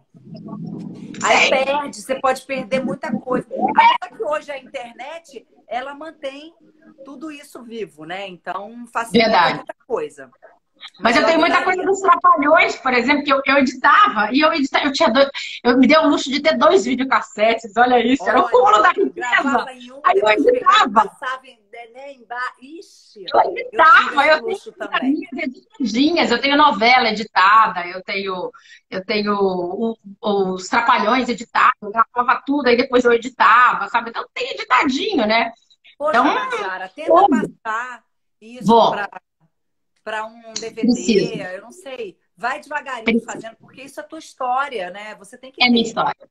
Para você ter ideia, eu tenho tanta revista, André, mas eu tenho tanta revista, mas eu tenho tanta revista, misericórdia. Né? De vez em quando, quando eu pego as coisas. Porque assim, eu, a minha mãe, meu, meu, minha mãe e meu pai, eles tinham mania de comprar, é, comprar revistas, mais de uma, então, jornal. Então, e assim, a gente não, não dá para recortar e jogar fora. Então, eu tenho as revistas inteiras, você não tem noção. É o máximo. Não, eu comecei é... a fazer isso. Eu, eu cheguei a fazer já, tipo, é, pegava a capa, aí eu pegava o nome da revista com a data. Sim. Aí tirava a matéria e, tipo, catalogava com a data, sabe? É, isso é legal. Eu tenho, eu tenho um álbumzinho assim, tenho. É. Mas é, isso dá para fazer. Porque dá. é muita coisa. Agora, é maneiro, é. né? Pegar revista antiga e falar. É muito legal! É muito legal. Eu gosto disso também. Eu também! Faz parte. O pessoal tá pedindo para você chegar mais perto para falar. Ainda estão reclamando do seu áudio. Eu vou falar desse jeito aqui. Faz assim, põe a boca. Assim. Mas tem, ó, o, de, o Denis, que é meu fã lá de Portugal, diz que tá normal. Enfim, cada um é cada um, né? É, tem... eu acho que de repente pode ser o celular de cada um. Vem cá, vamos continuar, que a gente agora, né, deu. Ah, você, a Fala. última novela que você falou foi Amor com Amor Com Amor se Paga. Eu tinha 17 anos. Tinha ali o, o. Tinha aquele personagem Nonô? Isso, Nonô Correia. Era o Ney Torraca, não era? Não, era o Arifontora. Ah, que era o Ari, isso. Nossa, eu viajei agora, viajei. Que era o Mão de Vaca. Que era, era o Mão de, vaca. vaca. Aí depois dessa novela, você fez o que então? Qual foi? Aí eu fiz com a Glorinha, fiz Direito de Amar, que foi uma novela de época. A única novela de época que eu fiz. Oh. Foi você fazer a sobrinha do... Assim, um jeito de fazer. É, de, de eu fazia a sobrinha do padre, que eu era irmã da Priscila Camargo. Olha! Priscila era minha irmã, Rosana Garcia e Luísa Thierry. Nós três éramos as sobrinhas do padre. Era muito legal.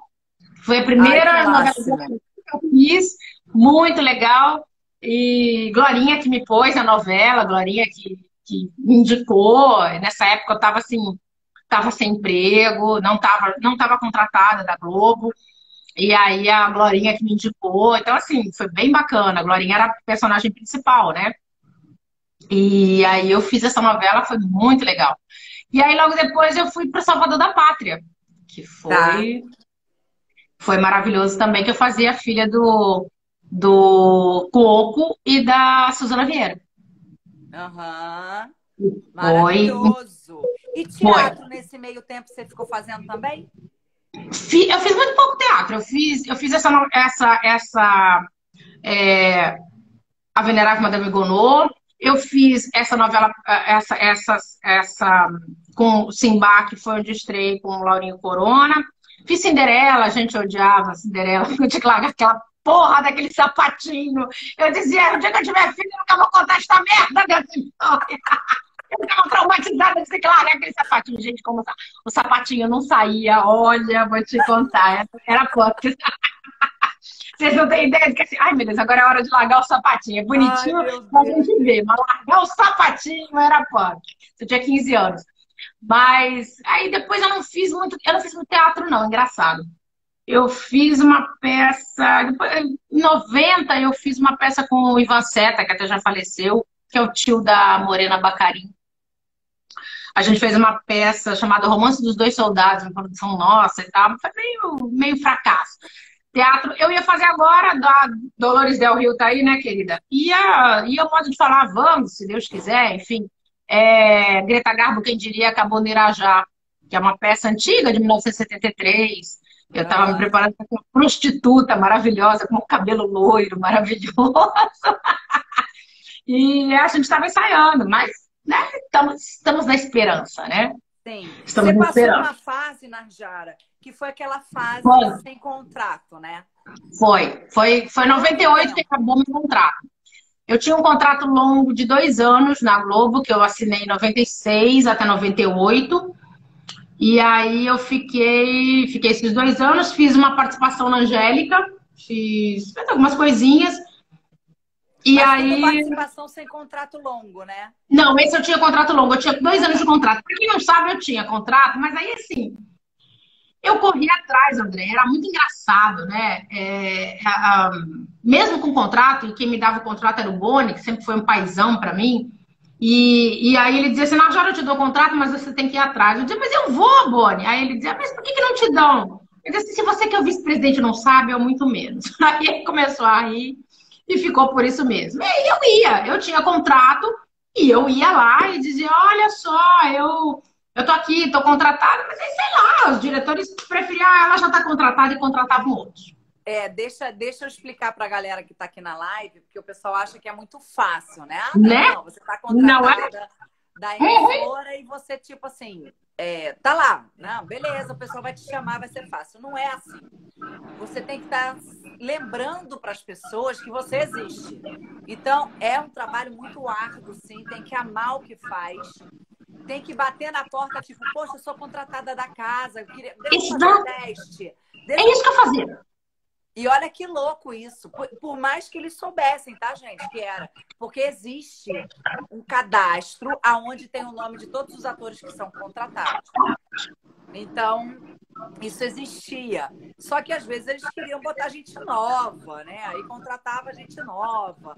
E, deixava ela contratada. No banco de dados não era chamada, Exatamente. né? Exatamente. E eu ia atrás.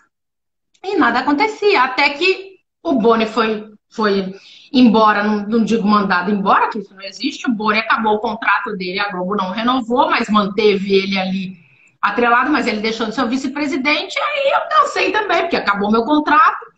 E aí eu dancei. E aí eu fui, eu fui dar aula de interpretação, fiquei naquela tipo, ai meu Deus. Pra quem não sabe, gente, eu nunca ganhei muito dinheiro, não. Eu ganhava pouco. Sim. Ganhava muito pouco. E quanto menos você trabalha, pior. O seu salário fica estacionado, fica é. estagnado. Se você não, se você não produz, uh, você não, não ganha o suficiente. Eu não tive sorte de fazer comerciais, porque comerciais você ganha bem. É, apresentações, por exemplo, eles queriam muito meninos, homens. As paquitas eram diferentes, porque tinham shows, ganhavam, ganhavam mais por fora. Eu não tinha isso. Então, um, o que eu ganhava era para o meu sustento, que muitas pessoas ah, gastou tudo que ganhou. Eu vi essas coisas e eu falei, ah, meu Deus do céu, esse povo é sem noção. Não, ela não gastou tudo que ela ganhou. Ela torrou tudo. Gente, isso não existe, tá? Mas tem um outro detalhe aí, Narjara, que a, é, a, época também era bem diferente. Muito. É, era bem Muito. diferente. Porque você fala, sofremos... o pessoal fala, ah, não, o povo acha que as paquetes ganharam Rio não. Talvez sei que não. Talvez sei que não assim, eu tinha o meu contrato com a casa, eu tinha o contrato na época com a, com a Xuxa Produções por causa dos shows, então a gente ganhava um valor pelo show. Sim. Ganhava. É, a Globo sempre pagou meus estudos, isso sempre, desde o dia que eu entrei lá. Até Bacana. Terminar. É, eu também. Ah, foi. Depois eu tinha era uma coisa ou outra que eu fazia à parte, mas o valor também que a gente ganhava na época era um valor assim que não era, né? Só pessoas que realmente estouravam muito, que ganhavam bem, óbvio. Né? Os Exatamente. atores, os, os atores já de muitos anos, Exatamente. que já eram, aí sim, né? Então, pessoal, para entender. Né? Então, hoje, se, se hoje, por exemplo, as Paquitas fazem o sucesso que foi Nossa! na época, realmente Nossa! a gente ia ganhar muito mais dinheiro. Ia. Os valores ia. são diferentes. Ia. Iam ganhar muito dinheiro. Exatamente. E não esquecendo que as Paquitas eram sete na minha época. Sim, mas aí cada uma, de repente, tudo bem, mas cada uma, se fosse separado ou junto, enfim, vocês iam ganhar dinheiro. É engraçado, porque são outros tempos. É Sem contar que a gente sofreu vários, vários, vários problemas econômicos, né? Nós tivemos Exatamente. vários planos econômicos. Para você ter ideia, eu nunca me esqueço que quando eu fui fechar meu contrato de Salvador da Pátria, eu tive que, que negociar em o R, o R Ah, eu acho que eu já sei o que ela vai falar. Tinha, era, ó, ou alguém tá te ligando, deve alguém tá te ligando, ou a sua bateria pode ser que esteja acabando. Oi, alguém te ligou aí? A gente estava em Cruzado Novo e aí ia mudar e teve o R, não sei o que. Gente, eu fui, eu fui fechar um contrato num num cifrão que a gente não sabia nem o que era. Olha o isso. RV. É. Isso, o RV, não lembrava nem o nome. Olha isso! Olha que incógnito. Muito louco. Então, uh, era complicado. E aí eu fui, eu fui dar aula de interpretação em 99. Em 2000 a coisa complicou. E aí, minha filha, em 2002 foi então, partir para vender água de coco, né? Fiquei 10 anos nessa de vender água de coco, amiga. 10 anos você vendeu é. água de coco que é um trabalho super digno. Isso aí não, Sim. não é questão disso, mas foi esse não. tempo inteiro. Esse tempo inteiro. E eu me lembro, engraçado, as pessoas acham que estão, não sei, perguntando alguma coisa da Xuxa tal, se eu conhecia a Xuxa. É, nesse tempo, as pessoas achavam que era fácil cruzar. Eu nunca tinha cruzado com a Xuxa, né? Ah, você conhece a Xuxa? Então, eu falei, não, gente, eu não conheço porque ela gravava em outro lugar e tal. É Aí foi engraçado porque quando eu estava desempregada, eu, eu apelei para todo mundo. E eu não me esqueço que eu fui, eu fui falar com as pessoas e eu fui falar com a Marlene Matos. Uh, eu tinha ido fazer um cachê na, na, na Globo, tinha feito, e aí a Marlene, consegui falar com a Marlene, e falei com ela, falei, Marlene, é, consegui chegar até ela, ela foi muito simpática comigo, e aí ela falou, eu falei, olha, tô precisando de, né, de trabalhar. Ela, aí ela falou assim, ah, eu conheço bastante gente, até fora daqui, na, é, na, no SBT. Eu falei, maravilha. E o SBT tava começando a fazer novela. Ah, eu posso falar com a fulana, com a Beltrana? Eu falei, por favor, eu topo qualquer lugar. Aí ela falou, não, deixa comigo. Aí tá, foi super bacana, foi embora. Tal. Aí eu nunca me esqueço, foi tão engraçado que a, Globo, a, a, a televisão estava comemorando 50 anos, né? de inauguração. E a Globo fez uma festa maravilhosa, de 50 anos de televisão. E aí eu estava fazendo, como eu disse, eu estava fazendo um cachê na Globo, mas eu tinha entrada ali. E aí, todo mundo, ah, que não sei o quê. E aí eu soube que a Xuxa estava lá. Aí a Marlene não tinha me dado resposta, na cara dura, gente, vocês não têm noção. Eu na cara dura, ah, vou lá falar com a Xuxa, vou falar para ela, perguntar para ela se ela, na cara dura. Falei se ela, se ela pode falar com a Marlene. Aí, gente, lá e acho que era apresentadora, ela era apresentadora do programa. Ela deve saber quem eu sou, claro, né? Óbvio que ela sabia. Aí eu, né? Tinha um segurança enorme na porta dela, e eu, eu tava, eu tava com meu crachá, eu tinha meu crachá ainda, aí eu, o, o, ele me olhou, assim, claro, pra eu estar ali, né? Ele me olhou assim, pois não, eu falei, eu queria falar com a Xuxa, você falou pra ela que a Najara Tureta tá aqui? Ah, tá, só um momento. Aí ele foi lá dentro, eu falei, putz, né? Aí ele falou assim, ah, ela pediu pra você esperar. Eu falei, ah, tá, legal. Eu falei, nossa. Aí eu fiquei ali fora, ah, não vai falar comigo. Aí daqui a pouco, aí não lembro quem foi, alguém disse assim, ah, pode entrar. Aí eu entrei, gente, ela tava tão linda, no vestido vermelho, que foi que ela apresentou. Gente, mas ela tava tão linda. Só que nessa época não tinha celular, não tinha. Né? Ela tava tão linda no vestido vermelho. Foi a primeira vez que eu vi a Xuxa linda, ela toda Oi, Najara. Eu falei, nossa, ela me conhece, que legal. Eu, ui, Xuxa, é um prazer te conhecer. Ai, você é maravilhosa. Ui. Daí eu assim, né, Xuxa? Foi assim, negócio e tal. Eu falei, não, eu falo com ela, pode deixar. E assim foi a primeira vez com a Xuxa, foi engraçadíssimo. Neste mesmo dia, estava o Gugu Liberato, estava o Raul Gil. O Gugu Liberato era muito meu amigo, eu tinha trabalhado com, tinha trabalhado com ele várias vezes, enfim. E aí eu bati na porta dele do mesmo jeito. Para quem não sabe, eles eram, eles eram convidados ali deste programa especial da Globo e eles estavam lá com o maior requinte. E eu bati na porta dele também, falei com ele. E aí a mesma, ah, já vou te ajudar no SBT e tal agora e tal, beleza. E aí, não, ah, não, vou pegar seu telefone. E nisso eu bati na porta do Raul. Raul Gil eu não via há mais de 30 anos. Quando ele me viu, ele fez uma festa tão grande, ele fez uma festa, Najara, não sei o quê, você por aqui e tal. Resultado, a gente bateu um papão, não sei o quê. Antes de vender água de coco, eu fui para Record, graças ao Raul Gil. O Raul me levou para Record.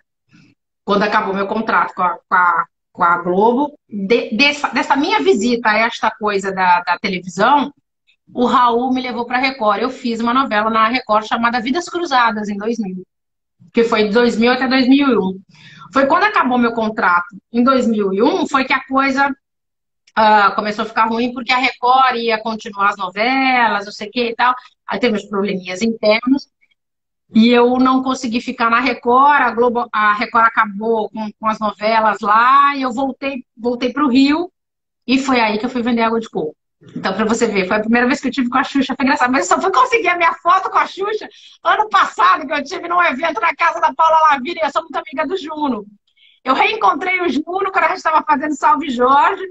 E aí, uh, eu, quando, uh, quando eu os vi na casa da Paula, eu falei assim, pô, sacanagem, eu não tenho a foto com a Xuxa. E esse, esse evento não tinha, não tinha, não tinha imprensa. É, quando eu vi a Xuxa com o Juno, é, quando eu vi a Xuxa com o Juno, eu falei, não vai prestar. Eu falei, aí eu, ah, eles estavam indo embora, eles iam embora.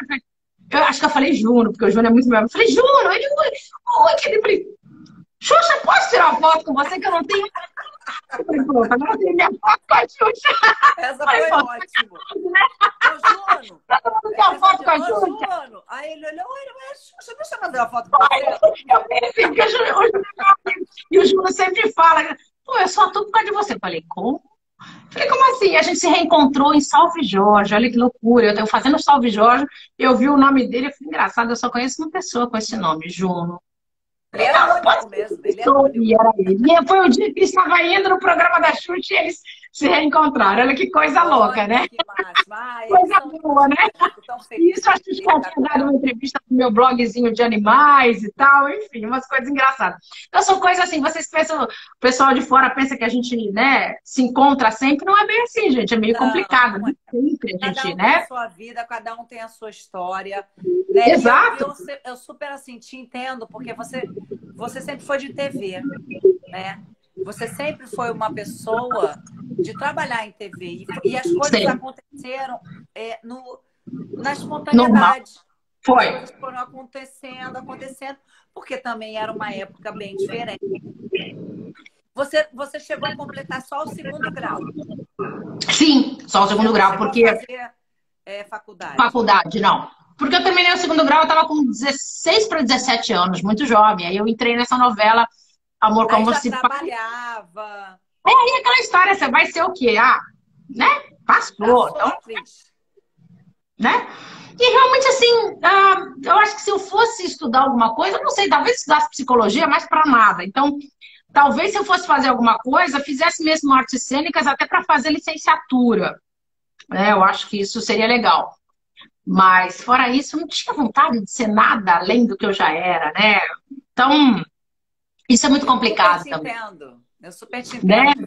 Porque a, a, vida fez isso assim comigo também. Foi indo. Não é? Foi indo. E eu queria muito ter feito. Era, só que eu faria jornalismo. É, pois é. Realmente jornalismo. E aí a vida, tipo assim, daqui a pouco eu tô trabalhando numa coisa, aí eu falei, meu Deus, daqui a pouco eu, eu casei, aí eu tô grávida, e aí tô trabalhando, então a vida foi levando. E eu pois é. vontade. A minha filha sabe, Conrado também, que eu tenho muita vontade ainda da, que legal. jornalismo, mas hoje o jornalismo falo que nem tem. Não é pois é. Como era antes. Pois é, que coisa absurda, não? É por isso que a gente vê cada E eu acho cada importante. Eu Carlinhos acho. Loeffler Carlinhos ah! Loeffler tá aqui. Fofo, amo demais. Amo! Cara, eu tenho que falar com você, eu tenho que fazer uma live com ele também. As pessoas precisam Tem. conhecer. Carlos Tem, Carlinhos Loeffler é incrível. Perto de Oscarito.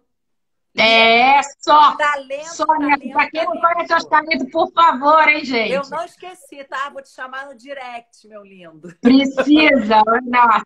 Então, manda um beijo aqui pro... coração pra você.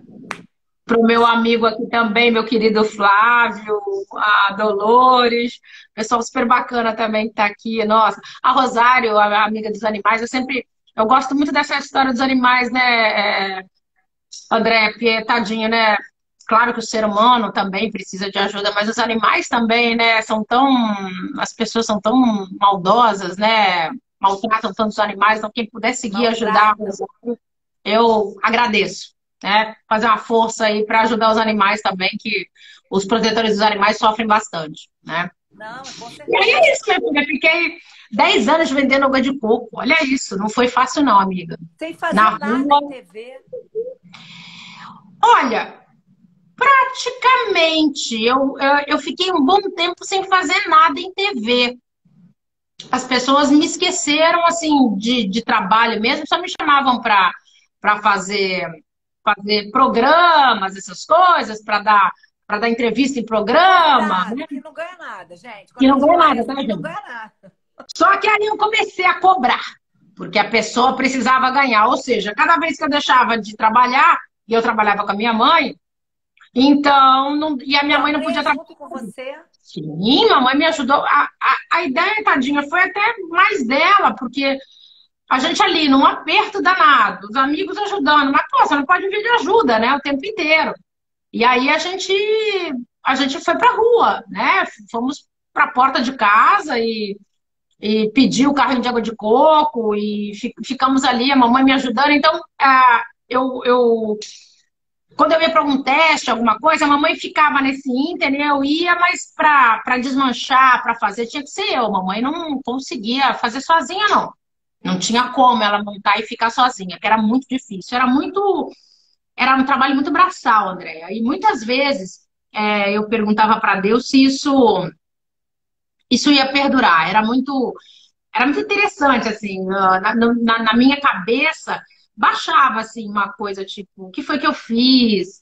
É, será que eu agi errado? O que que, sabe, assim, você fica com uma, uma coisa tipo, um, o que, que deu errado?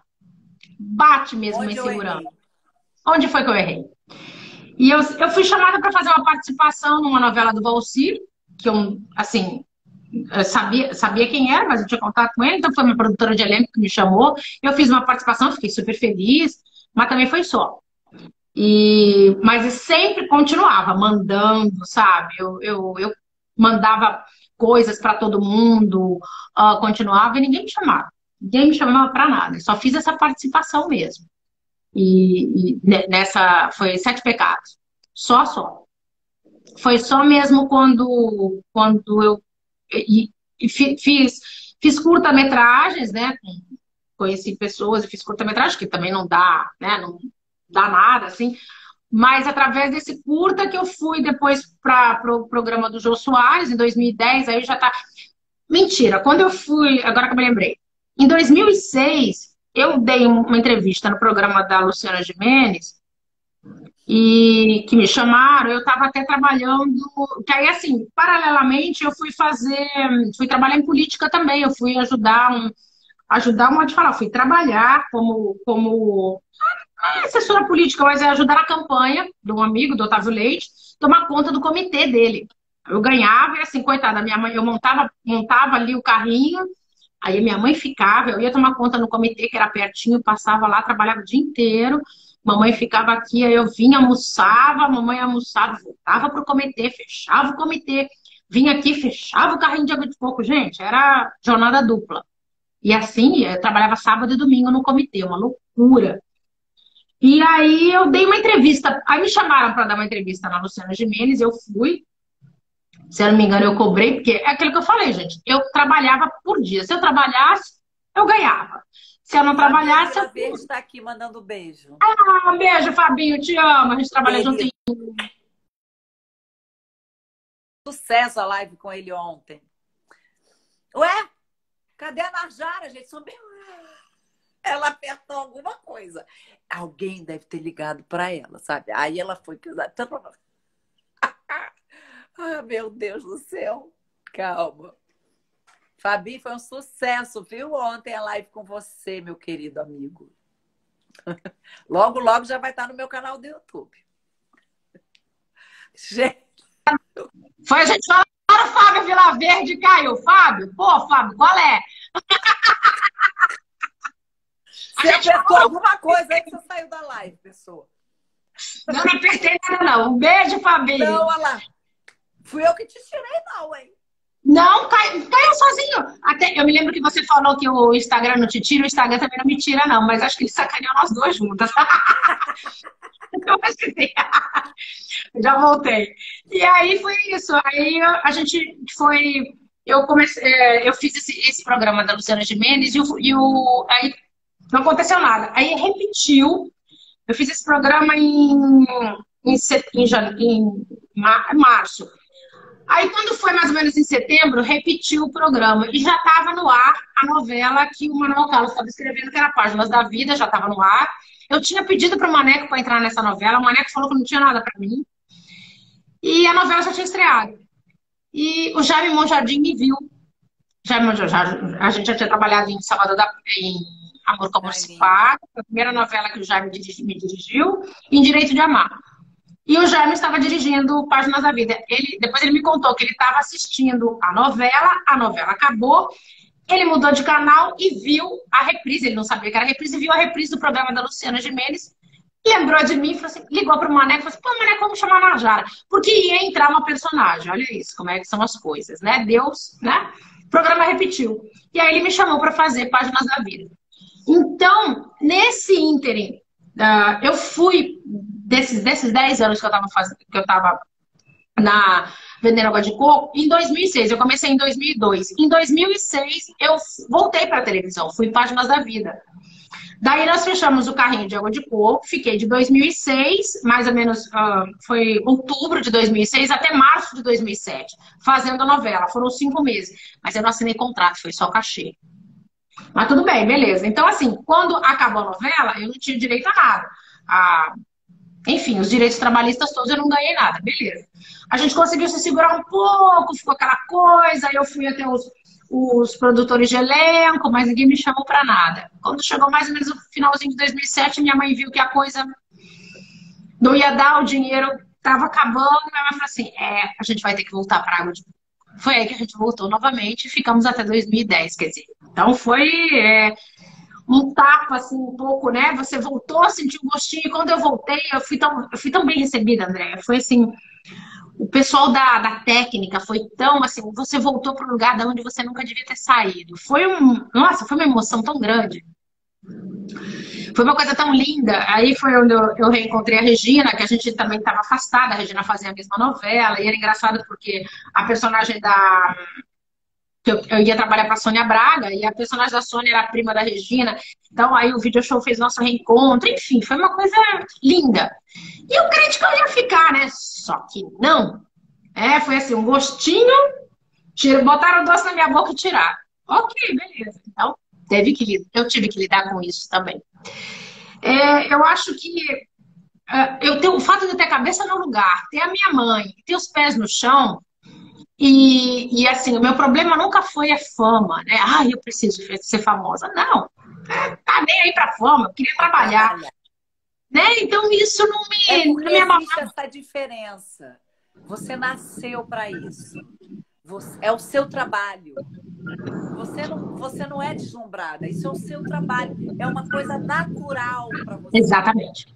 E eu não me preocupo eu, me vejo muito no que você está falando, porque é uma coisa natural para mim. Eu não quero fama, eu só quero trabalhar, eu só quero o meu espaço. A fama não me. Muitas vezes não... fica vendo. É, é, até mesmo patrocínio, né? Que entra para pessoas assim, pessoas assadas. Amém. Tudo bem. É para elas, eu não estou. Como diria, como diria Clodovil Hernandes, Deus que o ajude a mim não desampare. Né? Mas que é meio, meio, meio nonsense é, né, amiga? Porque é uma coisa muito louca, né? É. Essa coisa. Ah, quando as pessoas falam, você precisa estar na mídia. Eu falei, meu amor, mídia não enche barriga, meu amor, não me dá. Eu preciso tá. de dinheiro da minha conta. Mídia. Pra quê? Se eu quiser mídia, é só arrancar roupa, sair ali na Atlântica pelada, eu vou ter mídia em dois minutos. Vou estar na mídia em todos os jornais e revistas. É. Pronto. O que, que é isso vai me trazer de benefício nenhum? Não é. O meu trabalho vai me colocar na mídia. A mídia não me interessa. Me interessa estar na mídia às custas do meu trabalho. É isso que. Né, os, os 15 minutos de fama que Andy Arrow falava, né? Ok, mas a fama pela fama não adianta nada. Não, não, não tem consistência. Né? E não enche barriga. E foi justamente, ainda bem que eu tinha essa cabeça no lugar e, e não, não, não tinha, ah, eu preciso estar na televisão. Não, eu preciso trabalhar, é diferente. Eu gosto do meu trabalho. É, o fato de eu estar ali na água de coco, é, e por um momento dava dinheiro, depois começou a complicar e tal. Então, assim, estava pagando as minhas contas, glória a Deus. Mas, né, eu não estava satisfeita, eu estava infeliz, muito infeliz. E isso, né, eu, eu, digamos assim, eu reclamava com Deus todos os dias, agradecia, como minha mãe sempre me ensinou, sempre falava e fazia com amor. Mas era muito complicado, assim, a, a angústia, a frustração eram todos os dias. Mas eu acho que é, é, tem ensinamento, claro. É, você acreditar numa manhã melhor, você acreditar que nem tudo é para sempre. Só que foi longo, né, gente? Dez anos não são dez dias, não foi fácil. Mas é por isso que eu sempre digo que a minha mãe foi muito importante. É, tá com ela ali, eu acho que sozinha eu jamais conseguiria. Ah, a força dela, todas as batalhas que a gente passou, todos os percalços. Ficar na rua não é fácil, tem um monte de gente louca. Ah, veio uma mulher do nada para bater na minha mãe, teve briga, a gente ganhou na justiça, enfim todo tipo de gente, ladrão, é, e molequinho de né? rua. Sim. Assim. E assim, na rua da minha casa, mas mesmo assim, gente querendo tirar vantagem, é, é, conto do vigário, mas assim, nem, não era nem conto do vigário, era de troco, todas essas coisas que você tem que ficar esperta, sabe? Eu amadureci muito, amadureci muito. E, e, então, assim, foi, foi bom, sei lá, se Deus achou que eu tinha que passar por isso, ok, beleza. Mas não foi fácil, não foi fácil mesmo. É, te faz uma pessoa mais uh, blindada, talvez, eu acho. E, e hoje, hoje eu acho que eu sou mais corajosa, porque eu tive que enfrentar mesmo até pessoas que me desafiaram, de gente daqui da rua que era segurança e que me desafiou, sabe? Assim, eu, eu também desafiei, porque eu achava aquilo, sabe, meio absurdo. Umas coisas assim que você tinha que tomar frente, por eu ter uma mãe idosa ali que estava comigo. Então eu me coloquei no sentido de ela me defendeu, agora eu tinha que defendê-la. Isso amadureceu, né? Me amadureceu. E em 2010 eu fiz um, um curta-metragem que me levou até o Jô Soares. Só que nessa época eu estava no Twitter. E, e, a Glorinha Pires tinha é, comentado comigo que tinha falado de mim pro, pro. Como é que é o nome dele? Pro hum, Gilberto Braga, e ela ia fazer a novela Insensato Coração e eu ia fazer uma participação. Então eu tava feliz da vida. Então tava mais ou menos assim que eu ia fazer uma participação. E o Valcir Carrasco tava escalando para a novela das sete dele. Mas eu não tava nem aí. Eu segui, eu, eu tava naquela história de Twitter e tal. Eu tinha um Twitter e não sei o que, aquelas coisas todas. Achava aquilo barato. E eu segui o Valcir. E aí um dia eu dei boa noite para ele, ele comentou uma coisa com alguém e falou assim: ah, uh, uma pessoa deu uma resposta para ele, ele falou assim: ah, então é você, que só falam comigo para pedir emprego. Aí eu, eu falei, ah, vou, vou cutucar ele. Ah, boa noite, Valcir. Estou aqui só para falar boa noite para você. Ele na mesma hora respondeu, era você terá uma surpresa. Eu quase tive um tré. Eu olhei assim, eu virei para minha mãe e falei assim, Mamãe, você Carrasco falou que eu vou ter uma surpresa. Minha mãe olhou para mim e disse assim: você vai estar na novela dele. Eu falei, como assim eu vou estar na novela dele? Eu nem conheço ele. Minha mãe falou assim: você vai estar na novela dele. Isso choveu de Twitter, assim, para mim, os meus, meus seguidores viram. Você vai estar na novela dele, não sei o que, eu só, eu só botei assim, eu falei, adoro surpresas. Eu falei, como assim? Eu falei, mas eu tô na novela do Gilberto, assim, quer dizer, eu achava que eu tava, né? E aí fiquei quieta. E aí realmente eu tava. Foi muito engraçado, eu nem conhecia o Valcir. Ele tinha me visto na, na, no, no, na entrevista do, do Jô. E, então foi assim, foi, tudo, tudo foi mágico. Quando aconteceu também, foi tudo assim, foi assim, pá, de uma, da mesma forma. É da mesma forma que Deus, Deus é maravilhoso, né? Da mesma forma que eu entrei e saí. Foi tudo pá. Então, mas, né, não, não sem, não sem suor e lágrimas, mas, mas foi, né? E aí eu entrei nessa novela do Valcir, aí realmente foi que eu parei de vender água de coco, mas e tive essa novela que foi Morde a Sopra, né? Foi, e aí sim, eu assinei um contrato. Mas desde ali a batalha continua, né, Andréia? É, todo dia vendendo, eu sempre brinco que eu vendo almoço para comer o jantar. É, não é nem um leão por dia, né? São, agora são vários leões por é. dia, né? Verdade. Você, você então hoje está contratada? Não, não tô. A minha última novela foi no Record. É, eu, eu fui para Record, né? Fazer uma novela bíblica foi em 2019. Eu, fiz uma novela no, na, na, Globo em 2018, que foi Outro Lado do Paraíso. E aí eu fui para Record em 2019, finalmente de 2018 para 2019, depois que minha mãe faleceu. E fui fazer uma novela bíblica que foi maravilhoso, me levou até Marrocos, foi incrível, né? Foi maravilhoso. Engraçado que minha vida na Record é sempre de cinco meses. A primeira vez que eu fui para a Record em 2000 foi cinco meses, foi maravilhoso. E agora também foi maravilhoso. E foi incrível.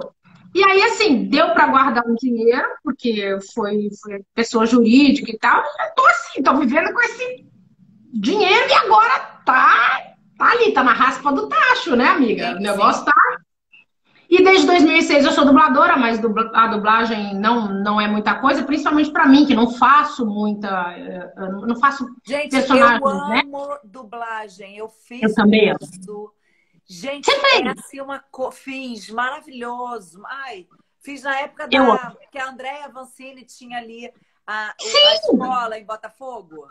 Uhum. Eu fiz lá. Nossa, como eu amo dublagem. E tem eu também. grandes dubladores, né? Sim, eu admiro grandes, demais. Eu trabalho com alguns maravilhosos. Eu amo dublar, eu é. amo. Eu dublo. Amanhã, amanhã tem uma dublagem também. Eu amo dublar, eu amo. Olha. Eu dublo desde 2006.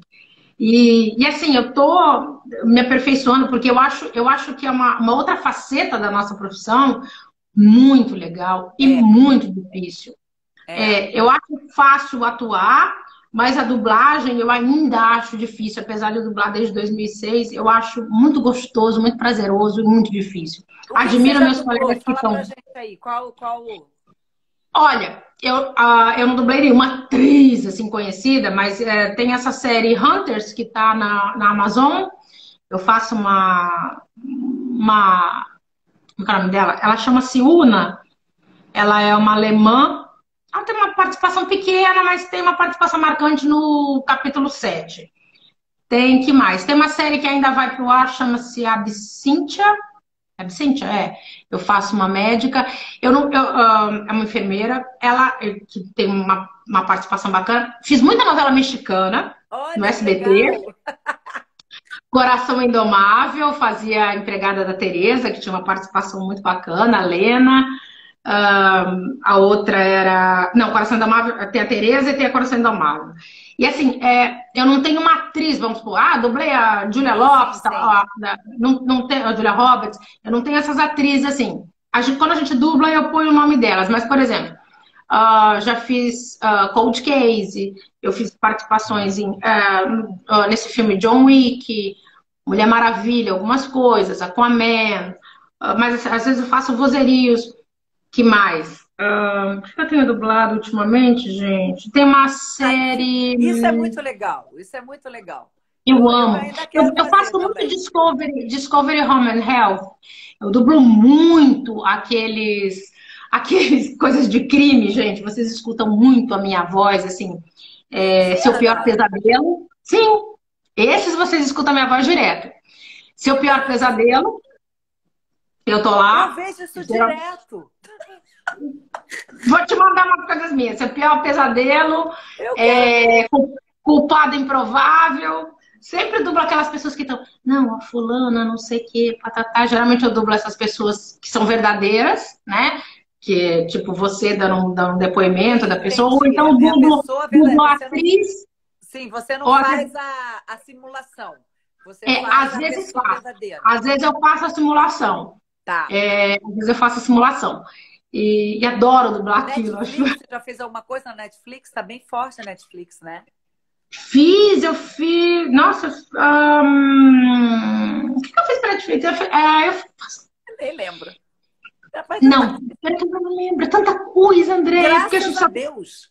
Graças, Graças a Deus. A Deus. É, é só quando eu chego lá, porque assim, pra quem não sabe, por exemplo, eu vou dublar amanhã, mas eu não sei o que, que é. Só quando eu chego lá é que eu sei.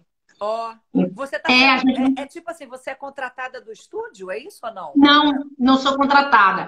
A gente ganha por hora. Eu só ganho no mês seguinte, mas a gente ganha por hora. Então, é, é, é quase como se a gente fosse frila. Mas as pessoas sabem, você se coloca à disposição, você tem ali a coisa do voz tal, já sabem que você dubla, então beleza, te chama. Olha, tem um horário para você amanhã, tal hora, assim, assim. Aí quando você chega lá, é que você sabe o que você vai dublar. É muito interessante. Legal. Dublei um desenho também. Bom, desenho, eu fiz muita coisa pro Cartoon Network. Eu fiz, fiz aquele Playmobil filme também, que já tá, deve estar tá por aí. Também fiz uma professora, uma, uma russa que falava assim, você tem que. Eu vou ter botando a catarata do dentista. Você foi no cinema para ver, gente. Muito engraçado. Adoro, gente. Andréia coisas. É muito Mas... bom, eu amo. Desperate Housewives, eu fiz muita coisa em Desperate Housewives. Olha, Chicago, tá Chicago vendo, PT. A gente escuta a voz da Narjara em tudo quanto é lugar. E às vezes, já, tipo, eu já conheci essa voz. É tão legal isso. Às vezes eu mando pra Glorinha, ela fala assim, a tua voz é muito diferente. Mas tem outras pessoas que acham que a minha voz é parecida. Então, assim, é engraçado, tem horas que. Ah, tem vezes que eu tenho que engrossar a voz, e tem horas que eu tenho que fazer a voz um pouquinho mais leve para poder fazer uma coisa mais. E tem horas que eu tenho que fazer mal. É muito engraçado. É isso. Eu amo, eu amo, é porque né, é muito bom. É outro lado assim da profissão que eu amo. Eu vou fazer o seguinte, eu vou liberar umas perguntas aqui que o pessoal Libera. fez. Tá? Libera. E aí é muito. Pode ir dando oi para a galera aí, que eu estou vendo aqui algumas perguntas, se você já não respondeu as perguntas que estão aqui, tá? Claro. Deixa eu ver. A cantora Regiane, fofa, querida. O cinematográfico 7, que eu vou fazer uma live com ele, querido. Vou, vou fazer uma live com ele. O, o Flávio Vale, meu amigão. E olha, braço de Boston. Fala. É, tem tanto, tanto quanto é lugar. Chique no último. Você já fez filme com os Trapalhões? Não, era meu sonho. Era meu sonho fazer fez. filme com Poxa eu vida. Sonhava fazer filme com os Trapalhões. Mas eu matei a minha vontade de fazer muitos, muitos Trapalhões. Fiz muitos. E fiz com os quatro, né? O que foi é, legal. É. Fiz com os quatro. Não, foi maravilhoso. Aqui estão perguntando para você, ó. O Nando também perguntou como é que foi apresentar essa gente inocente. Ai, foi muito legal. E foi lá foi no com, começo é, da sua carreira. Foi com o Wilton Franco, que eu, eu, eu fazia várias participações. Tá. Foi o que me deu, assim, me deu know-how para né, pra fazer testes, para eu fazia vários personagens, não era um personagem só. Me deu um timezinho de comédia também, foi isso que me deu um know-how. Ó, e é verdade, porque tem que ter mesmo. Mais uma pergunta do Nando aqui, ó. Ele falou: como, qual é a origem do seu nome? Boa pergunta, qual a origem? Uh, eu cresci. Fala Jara, eu só penso em você, eu não conheço outro. É muito engraçado. Eu fui, aonde que eu fui outro dia? Eu fui num lugar, aí alguém. Eu, não é qual é o seu nome? Eu falei Narjara. Aí alguém olhou, aí o, o rapaz olhou pra a Tureta? Eu só é. conheço, eu só conheço, eu falei, é, eu tava, tava de máscara. Aí eu olhei para ele e falei assim: sou eu. O cara olhou para mim, levou um susto, porque ele, ele deu a entender assim, Najara. Ele falou assim: nome diferente, eu só conheço a Tureta. Eu olhei para ele e falei assim: sou eu. Aí eu tirei a máscara e ele ficou, ele ficou assim, tipo, sabe? Muito engraçado. Meu nome, é, a minha mãe colocou pensando que era indígena, mas aí, como eu, eu fui crescendo, não sabia. Uh, quando foi mas um dia eu tava com a minha mãe, não, a gente tava bebendo, não sei o que, um cara ficou bêbado, aí falou, seu nome é muito bonito. Aí eu olhei pra cara da minha mãe e falei, pô, esse cara tá enchendo o saco, né? É, o nome da, da mulher do Buda, do Siddhartha Gautama. Eu olhei pra cara da minha mãe e fiz assim, como é que é? Aí ele, ele bêbado, assim, é, muito bonito seu nome, nome da mulher do Buda, do Siddhartha Gautama. Aí eu, é, é, eu sabia, não, da mulher. Eu, o nome dela era Princesa Narjara. Seu nome é Narjara, né? Eu, é, aí eu, mamãe, vou perguntar pro meu professor. Aí tá, eu tinha um professor de, de, é, de religião na, na minha, no meu colégio, eu perguntei para ele, ele falou, é, pode ser, pode ser sim, pode ser. Ela deve ter sido uh, o Buda, né, o nome dele era Siddhartha Gautama, e aí... Aí uh, eu, eu fui pesquisar alguma coisa o meu nome parecia muito mais indiano do que indígena. Porque, por causa da Naja. Tanto que quando eu entrei em Papai Coração, o Walter Foster disse que meu nome era muito fake, meu nome era nome de cobra. Ele queria mudar meu nome para Regina de Castro. Olha isso. Ele chegou a mudar meu nome para Regina de Castro. Mentira. Seu nome é muito feio, é nome de cobra. Eu falei, não, seu nome de cobra é Naja. Meu nome é muito bonito, é Narjara. Aí, beleza, não mudou meu nome. Então, assim, como indiano existe Naja, Najaf, tem uma cidade, Naja, Najwa, e aí eu fui, fui me inteirando, então é um nome indiano. Quando eu fui candidata a vereadora em 2004, aqui no Rio de Janeiro, eu fui fazer uma campanha no Saara. Um árabe me disse assim: seu nome é árabe. Eu, é, o que é ele? Vizinho do fogo. Eu, ah, é? Ele é Nar, é vizinho, Jar é fogo. Eu falei, pronto, então tá bom. Então é por ali. É um nome sírio, indiano, e eu sempre gostei desse lado assim do Oriente. Então, acho lindo. Najário Tureta é italiano. É bonito. Na realidade, você que foi pesquisar qual era o seu nome, porque a sua mãe só botou porque achava ele bonito. Foi isso? É, porque ela, ela, ela teve duas amigas. Uma era Narjara, a outra Yara. Eram irmãs que o pai colocou pensando, não sei onde ele descobriu, pensando que era indígena. Duas irmãs, Narjara e Yara. Existe uma precursora né? Que devia ter mais ou menos a idade da minha mãe, não sei se está viva até hoje, que ela, infelizmente, ela nunca entrou em contato comigo, eu gostaria que tivesse entrado em contato quando me viu na televisão. Ela devia pensar, olha, essa menina se chama Narjara por causa de mim, né? Mas, infelizmente, ela nunca entrou em contato, não sei se faleceu ou não, ela deveria ter mais ou menos a idade da minha mãe, teria hoje. Mas ela é precursora. E da onde surgiu, né? Da onde este homem achou esse nome, seria mais interessante ainda. Porque ele pensava que era indígena, mas eu amo, amo, amo, amo. É Morro de bonito, dele, é mas muito forte. de mim. Então, uma homenagem. É muito forte. Olha, o Denis.piccolo está perguntando assim se você pretende escrever um livro.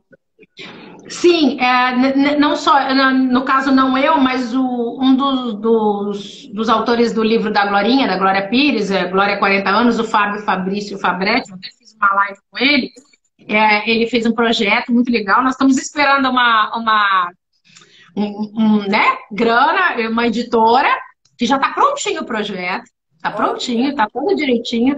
Pra, ele já escreveu a, a biografia da Gretchen, tá escrevendo agora, ele vai escrever a do Babu, a da Jane de Castro, a minha tá pronta, falta uma editora, que né, precisa de grana, mas tá prontinha. E aí, assim, eu preciso de alguém que saiba escrever, porque eu não tenho isso know-how. E tem que sempre romancear essa coisa toda. Então, sim, com certeza. Ó, oh, então vamos aguardar, hein, gente? Olha aqui, o Marcinho Correia pergunta: qual é a sua maior virtude e o seu pior defeito? É tão Minha maior virtude. Tudo, eu sou bem crítica. Minha maior virtude, eu acho que eu sou muito fiel, assim, nas minhas amizades, na minha solidariedade, a pessoa, as pessoas com quem eu, né, são meus amigos, eu sou muito fiel. Minha pior virtude, eu sou muito teimosa, sou teimosíssima e sou, sou brava e ranhetinha também, assim, sou, sou bem xarope, sou bem insuportável quando xarope, tem que ser ótimo. meus amigos, tem que ter um saco de filó para me aguentar. Pronto, falei. Muito bom, muito bom. Ó, o Marcinho pergunta também, algum momento você chegou a pensar que não voltaria mais para a TV? Pensei. Pensei sim. Pensei porque, assim, é aquilo que eu falei, com o Boni fora, aí, aí um morre, o outro morre, morre aqueles amigos que você conhece, que te conhece, entra gente nova, você fica meio assim, ah, meu Deus, uh, essa gente que tá entrando, tá, eu tenho história, mas aí fica, bate meio uma insegurança, você tá velha, ou você é velha, as pessoas novas querem gente nova, sabe? Bate sim, bate uma insegurançazinha meio ruim, não vou dizer que não. Mas aí você, né, levanta, sacode a poeira e dá a volta por cima e diz amanhã é um novo dia, como diria Scarlett O'Hara, e vamos nessa. É sempre Sim. tempo para começar de novo, começar de novo. E vamos embora. Tem que ser. Né? Todo dia. Todo dia, dia. Ou a musiquinha do, do, do Vila Sésamo, que eu também fiz uma participação. Todo dia é dia, toda é hora é hora de é. fazer esse mundo feliz. feliz. Muito bom. Olha, olha só, essa é uma pergunta interessante. Você Diga. iria para a Fazenda? Para um reality? Léo, obrigada pela já, pergunta. Já pensei, olha, quando a minha mãe, eu não sei se foi 2000 16, 17, por aí. Eu fui no programa do Roberto Justus, foi muito legal, um programa que ele tinha na Record, a gente ficou amigo, a gente tem uns pernilongos aqui que me adoram. Aí. Ai, é, tem uns pernilongos. É inverno, tá cheio de pernilongos. Eles me adoram, eu tô aqui toda me coçando. aqui em casa. Que raiva! Oh, eu moro no 12 andar e eles vão dar mãe. E eles vão. E aí, hum, e aí eu tô tudo me coçando. E aí ele, eu, o Roberto Justo, ele fez uma entrevista comigo e tal, e na época ele tava na fazenda. Aí eu tava falando com ele pelo e-mail, ele falou, ah, pois é, a gente vai ter a fazenda, mas ainda não tem ninguém, posso sugerir seu nome? A minha mãe tava, requeria alguns cuidados, estava bem, mas é eu que tomava conta dela, não tinha ninguém para tomar conta dela. Aí eu falei, ah, tá, pode. Aí uma moça entrou em contato comigo e perguntou, ah, Jara, você... Eu, tô, eu sou fulana, nem me lembro o nome dela. E aqui da faz... é, assim, tô só pesquisando, tal, você estaria disposta a pensar comigo? Eu falei, olha, eu falei, vai depender de uma série de coisas. Eu tenho uma mãe. Mas eu fiquei pensando, eu falei, tá doido, eu vou pra fazenda três meses, depois eu volto, minha mãe morreu, esqueceu de mim. Eu falei, não. Agora que eu tô sozinha, eu acho que não. Porque assim, eu é engraçado, né? Não. Eu assisto tudo, eu assisto a Fazenda, mas eu acho que. Eu achei ficar... que agora que eu tô sozinha, eu vou. Hum, agora que eu me convenci que não. Porque assim, é, eu acho, eu, eu assisto. É, é muita exposição. É, eu vou acabar batendo de frente porque você acaba confinado. É, eu sou uma pessoa muito dada. Mas acaba que você. Eles te deixam confinado de propósito. Eu acho que às vezes eles põem umas pessoas justamente para criar picuinha com você de propósito. E acaba que você. Tem horas que o meu, meu pavio, tipo assim, não tenho pavio. Então, para perder o pavio no meio de, uma, né, de um reality, por causa. Tudo bem, a grana é boa, não vou dizer que não é. Se você ganhar, então melhor ainda. Mas eu não sei se tanta exposição valeria a pena. O dinheiro é muito bom. Eu não sei se eu perderia três meses da minha vida trancada num lugar com gente que eu não conheço. Acho é. muita banana por um tostão, sabe? Acho que não valeria a pena, não, a minha liberdade por isso. Não. Sim, com certeza. Então, então é descartado. Seria uma experiência única que você iria viver. Você seria uma personagem bem forte pela sua personalidade, com certeza. Então, ou eu ficaria passiva ou eu seria muito ativa. Então, assim, 880. Eu acho que você seria ativa. É, então, o negócio... Eu, tô, eu, eu acho diante do que eu te conheço, assim, né? Mas é muito complicado. Eu ia ter que ir, né? Eu ia ter no que... confinamento, a, é, a, gente não sabe como a pessoa pode reagir. Então, eu te Exatamente. Entendo. É esse meu medo. Sim, eu te entendo. E, e é isso, se preserve, então, porque realmente é muito pesado. Não é? Você já teve, já sabe, né? É bem pesado, é bem pesado. Mas olha, o peraí, deixa eu só te dar mais uma pergunta que alguém fez aqui. Calma. Você está morando sozinha hoje, então? Sim.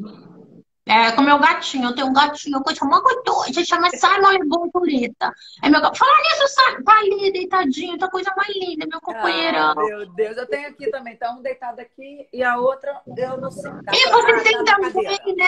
Como eles são adoráveis. Eles pra quem adoráveis. pergunta é um assim, se eu não casei, não teve filhos, tá? realmente, eu não casei, não tive filhos, porque assim, namorei, só namorei traste.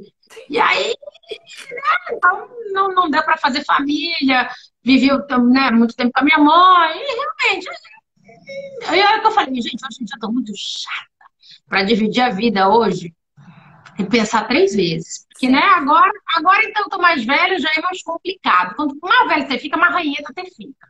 Sim. Então você que vive junto sabe como é que é, né? Então, a pessoa que é cheia de mania. Não, você já criou o seu mundo eu acho que chega um tempo que aí é difícil ter outra pessoa mesmo, né? Eu, acho, que você pode ter uma relação, cada um na sua casa. Né? Pode ser, não descarto. Né? Não descarto, não. Mas junto, não sei, não. Acho difícil. Eu acreditei muito em casamento. Quando eu tinha assim, era tão engraçado que eu olhava, eu falava assim, nossa, ano 2000, né, gente? Quando eu pensava no 2000, eu ia estar com 35 anos, porque ano 2000 a gente achava que o ano ia acabar, tá? É. Nossa, ano 2000, eu vou estar com 35. Será que eu vou estar casada, com filho, uau? Chegou no 2000, não aconteceu porra nenhuma, né? Eu tava vendendo coisa de enfim. não, no ano 2000 ainda não tava, eu tava na Record. Mas aí não aconteceu nada daquilo, você fala, que merda, em 2000, né? A gente tava com um projeto, não aconteceu nada. E aí, né, eu falei, poxa, né, não deu certo, enfim, aquelas coisas, você fala que merda de ano 2000, né? Mas, enfim, não, não deu, não deu. Aí eu fico pensando, ah, não era pra ter filho, mas às vezes, sabe, eu dou graças a Deus de não ter tido filho, porque colocar um filho nesse mundo sem pai, eu sempre quis ter um filho com pai, mãe, porque eu tive, né, eu sou filha única, mas tive um casamento, meus, meus pais tiveram um casamento muito bacana, né, foi separado pela morte do papai, então sempre sonhei com esse tipo de casamento. Aqui não deu, não deu, né? Então não era para cima. Segue a vida, Tem né? que você se arrepende na sua trajetória? Hum, não, acho que não. Tal, uh, talvez, não, talvez sim. Não ter escutado a minha mãe uh, quando, quando eu vim para Malu Mulher e ela tinha falado para eu, porque assim, ela queria, a Globo me ofereceu um, um salário que ela insistiu que não ia dar. E eu pedi, pelo amor de Deus, para ela aceitar. Então, assim, isso eu podia ter escutado ela, que teria dado certo. Então, isso eu me arrependo realmente que ela tinha toda a razão. Mas era o medo de querer e querer, uh, querer fazer, e a minha mãe falar, olha, aí a minha mãe me dando valor, né? Então, não ter escutado mais ela nesse ponto. Mas tudo bem, tudo é válido, enfim. Valeu. Da sua trajetória, qual o personagem que é aquele que você fala, nossa, esse é do coração? Bom, a Elisa é muito especial, porque eu ganhei o prêmio de atriz revelação com ela, né? Eu acho que ela foi muito especial, por, até por não ser uma novela, era um seriado. Então era uma coisa bacana, porque era começo, meio e fim, né? A história era muito legal, que hoje todo mundo é viciado em série. A Globo é. foi precursora das séries brasileiras com carga pesada, Malu Mulher, Plantão de Polícia, que eram séries que cada uma falava de um assunto, né? Tinha começo, meio e fim. Era muito legal. Então, a Elisa tem um carinho muito grande. Ah, e a Bel de Amor Como Se Paga, que é minha vilã preferida, né? Minha malvada favorita, porque ela era muito má. E agora vai ter um remake de Amor Como Se Paga, em 2021. Estou muito curiosa. Gostaria muito de fazer parte, inclusive. Estava até falando com o Moço de Nogueira. Quem sabe eu possa voltar. Óbvio que você mãe de alguém, claro, claro. infelizmente. Mas... Seria super interessante. Né? Mas é uma. Por ser uma novela da Ivani Ribeiro, uma novela que eu amei fazer. Então, tenho muito carinho. E por último, essa Dalila que eu fiz, que foi uma novela bíblica que eu nunca tinha feito na vida, foi maravilhoso. Apesar da minha personagem não estar tá na Bíblia, mas foi uma personagem que me deu muito prazer de fazer, porque era muito difícil ela era bíblica, mas ao mesmo tempo ela era cômica. Porque a, a novela era muito pesada, era uma matrossérie muito pesada, baseada em fatos que estão na Bíblia, a vida da, da Jezabel, uma mulher muito má, uma rainha muito má. E a minha personagem não existia, mas era, era a mãe do profeta Eliseu, que ele teve uma mãe, mas é só se comentava do pai. E ela tinha um lado cômico para poder dar, um, dar uma leveza. Foi muito engraçado eu falar de boca cheia, eu comer e falar ao mesmo tempo. Gente, umas cenas hilárias. Eu tive que comer azeitona e tâmara ao mesmo tempo. Teve uma hora que eu me engasguei. Eu, eu tinha que ter o lado cômico sem ser caricata, num, num tempo bíblico, foi muito bacana. Então, assim, me deu um. É porque é especial, muito né?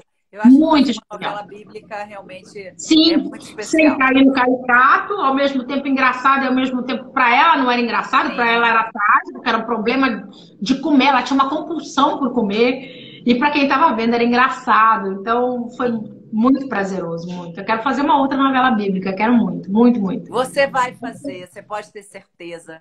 Amém. Continue eu quero fé. Eu fico lendo aqui um pouco os comentários. A galera sabe, mandando muita coisa boa para você. É, que bom, né? Corações. É, nossa, pessoal tão querido. É muito legal. Eu sei que você também tem feito algumas lives aí no seu Instagram, tem. né? De bate-papo. Tem, tudo. tenho. Eu gosto então, muito. Então vamos acompanhar também, gente. Vamos acompanhar oh, Obrigada. Obrigada pelos seus seguidores. Ah, eu te amo, né, André? Eu te amo, né, querida? um sorriso, você sempre ah, te amo quando a gente ah, encontra. Muito obrigada. Eu amo você, amo você, sua família. Deus tem, tem algo muito lindo reservado para você. Tenha fé. Amém, querida. E pode contar comigo, qualquer momento que você quiser ligar, ou para bater um papo, para a gente rir, ou para a gente chorar. Eu Vamos. pode saber. Vamos ver se depois dessa pandemia a gente se encontra, né? Vamos sim. Eu Ai, posso, posso se encontrar. encontrar com tanta gente que já está até Não é? Eu vou tá amar. devagarinho. Eu te agradeço demais. Foram quase. Ah, eu que agradeço a honra, amiga. Adorei, viu? Foi eu amei. Pode se despedir do pessoal, fica à vontade. Beijo para vocês, muito obrigada pelo carinho. A Paty, a Aninha, a Márcia, o pessoal que.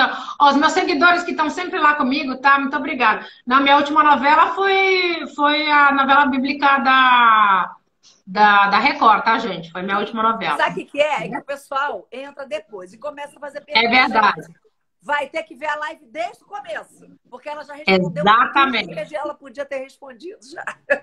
Exatamente. com certeza. Olha, um beijo grande. Não perca minha live, que eu vou ter uma live com o Cinematográfico 7, tá, gente? Fiquem de olho. Oh, obrigada pelos seguidores da Andréia. Muito obrigada. Se quiser me seguir lá no meu Instagram, muito obrigada. Os meus seguidores, por favor, sigam a Andréia, que é essa é, fofa que eu amo de paixão. Sigam o Conrado também, tá? Muito obrigada pelo carinho, viu, querida? Estou sempre aí. Ó, Linda. um beijo bem grandão. Te amo, te amo, te amo, te amo, tá, André? Sempre, sempre, Muito sempre, obrigada. Viu? Linda, linda, linda. Um Deus beijo. Beijo bem grande para vocês todos, tá, querido? Uma noite bem abençoada. Ó, beijo, minha fofa. Olha as florzinhas, as florzinhas amarelas. Ah, para mim e para vocês, gente. Isso, para todos vocês, para André e para vocês todos, tá? Obrigada. Beijo. Obrigada, obrigada pelas orações, por todo mundo que reza por mim, que ora por mim. Muito obrigada, viu? Obrigada, obrigada de coração. Beijo grande, minha fofa. Dá um beijo em todos aí, tá? Doce. Beijo, minha amada. Vamos nos falar depois lá, tá? tá beijo, minha fofa. Beijo, linda. Beijo, minha linda. É uma querida, uma simpatia, que Deus a abençoe. Muito obrigada. Eu quero agradecer vocês todos que sempre me, me dá audiência, né? A minha, a quem eu convido, vocês são maravilhosos. E ó, me dão, né, meu amor? me dão a audiência. Muito, muito obrigada. É, que Deus abençoe cada um de vocês. E ó, quem ainda não se inscreveu no meu canal do YouTube tá perdendo, porque todas as lives estão lá. Vocês são demais. Muito obrigada. Amanhã, às 8 da noite, eu tô estreando um novo bate-papo. Filho de peixe. Hum, temos vários filhos de peixe que são peixinhos, sim. Amanhã vai ser com a Mari Belém, a filha da querida e amada Fafá de Belém. Mari Belém é um carisma só, vocês não podem perder. Amanhã, às 8 horas, aqui no meu Instagram. Um beijo e vai estar tudo no meu canal do YouTube. Inscrevam-se, tá? Beijo, gente. Obrigada. Fiquem com Deus. Obrigada. Beijo.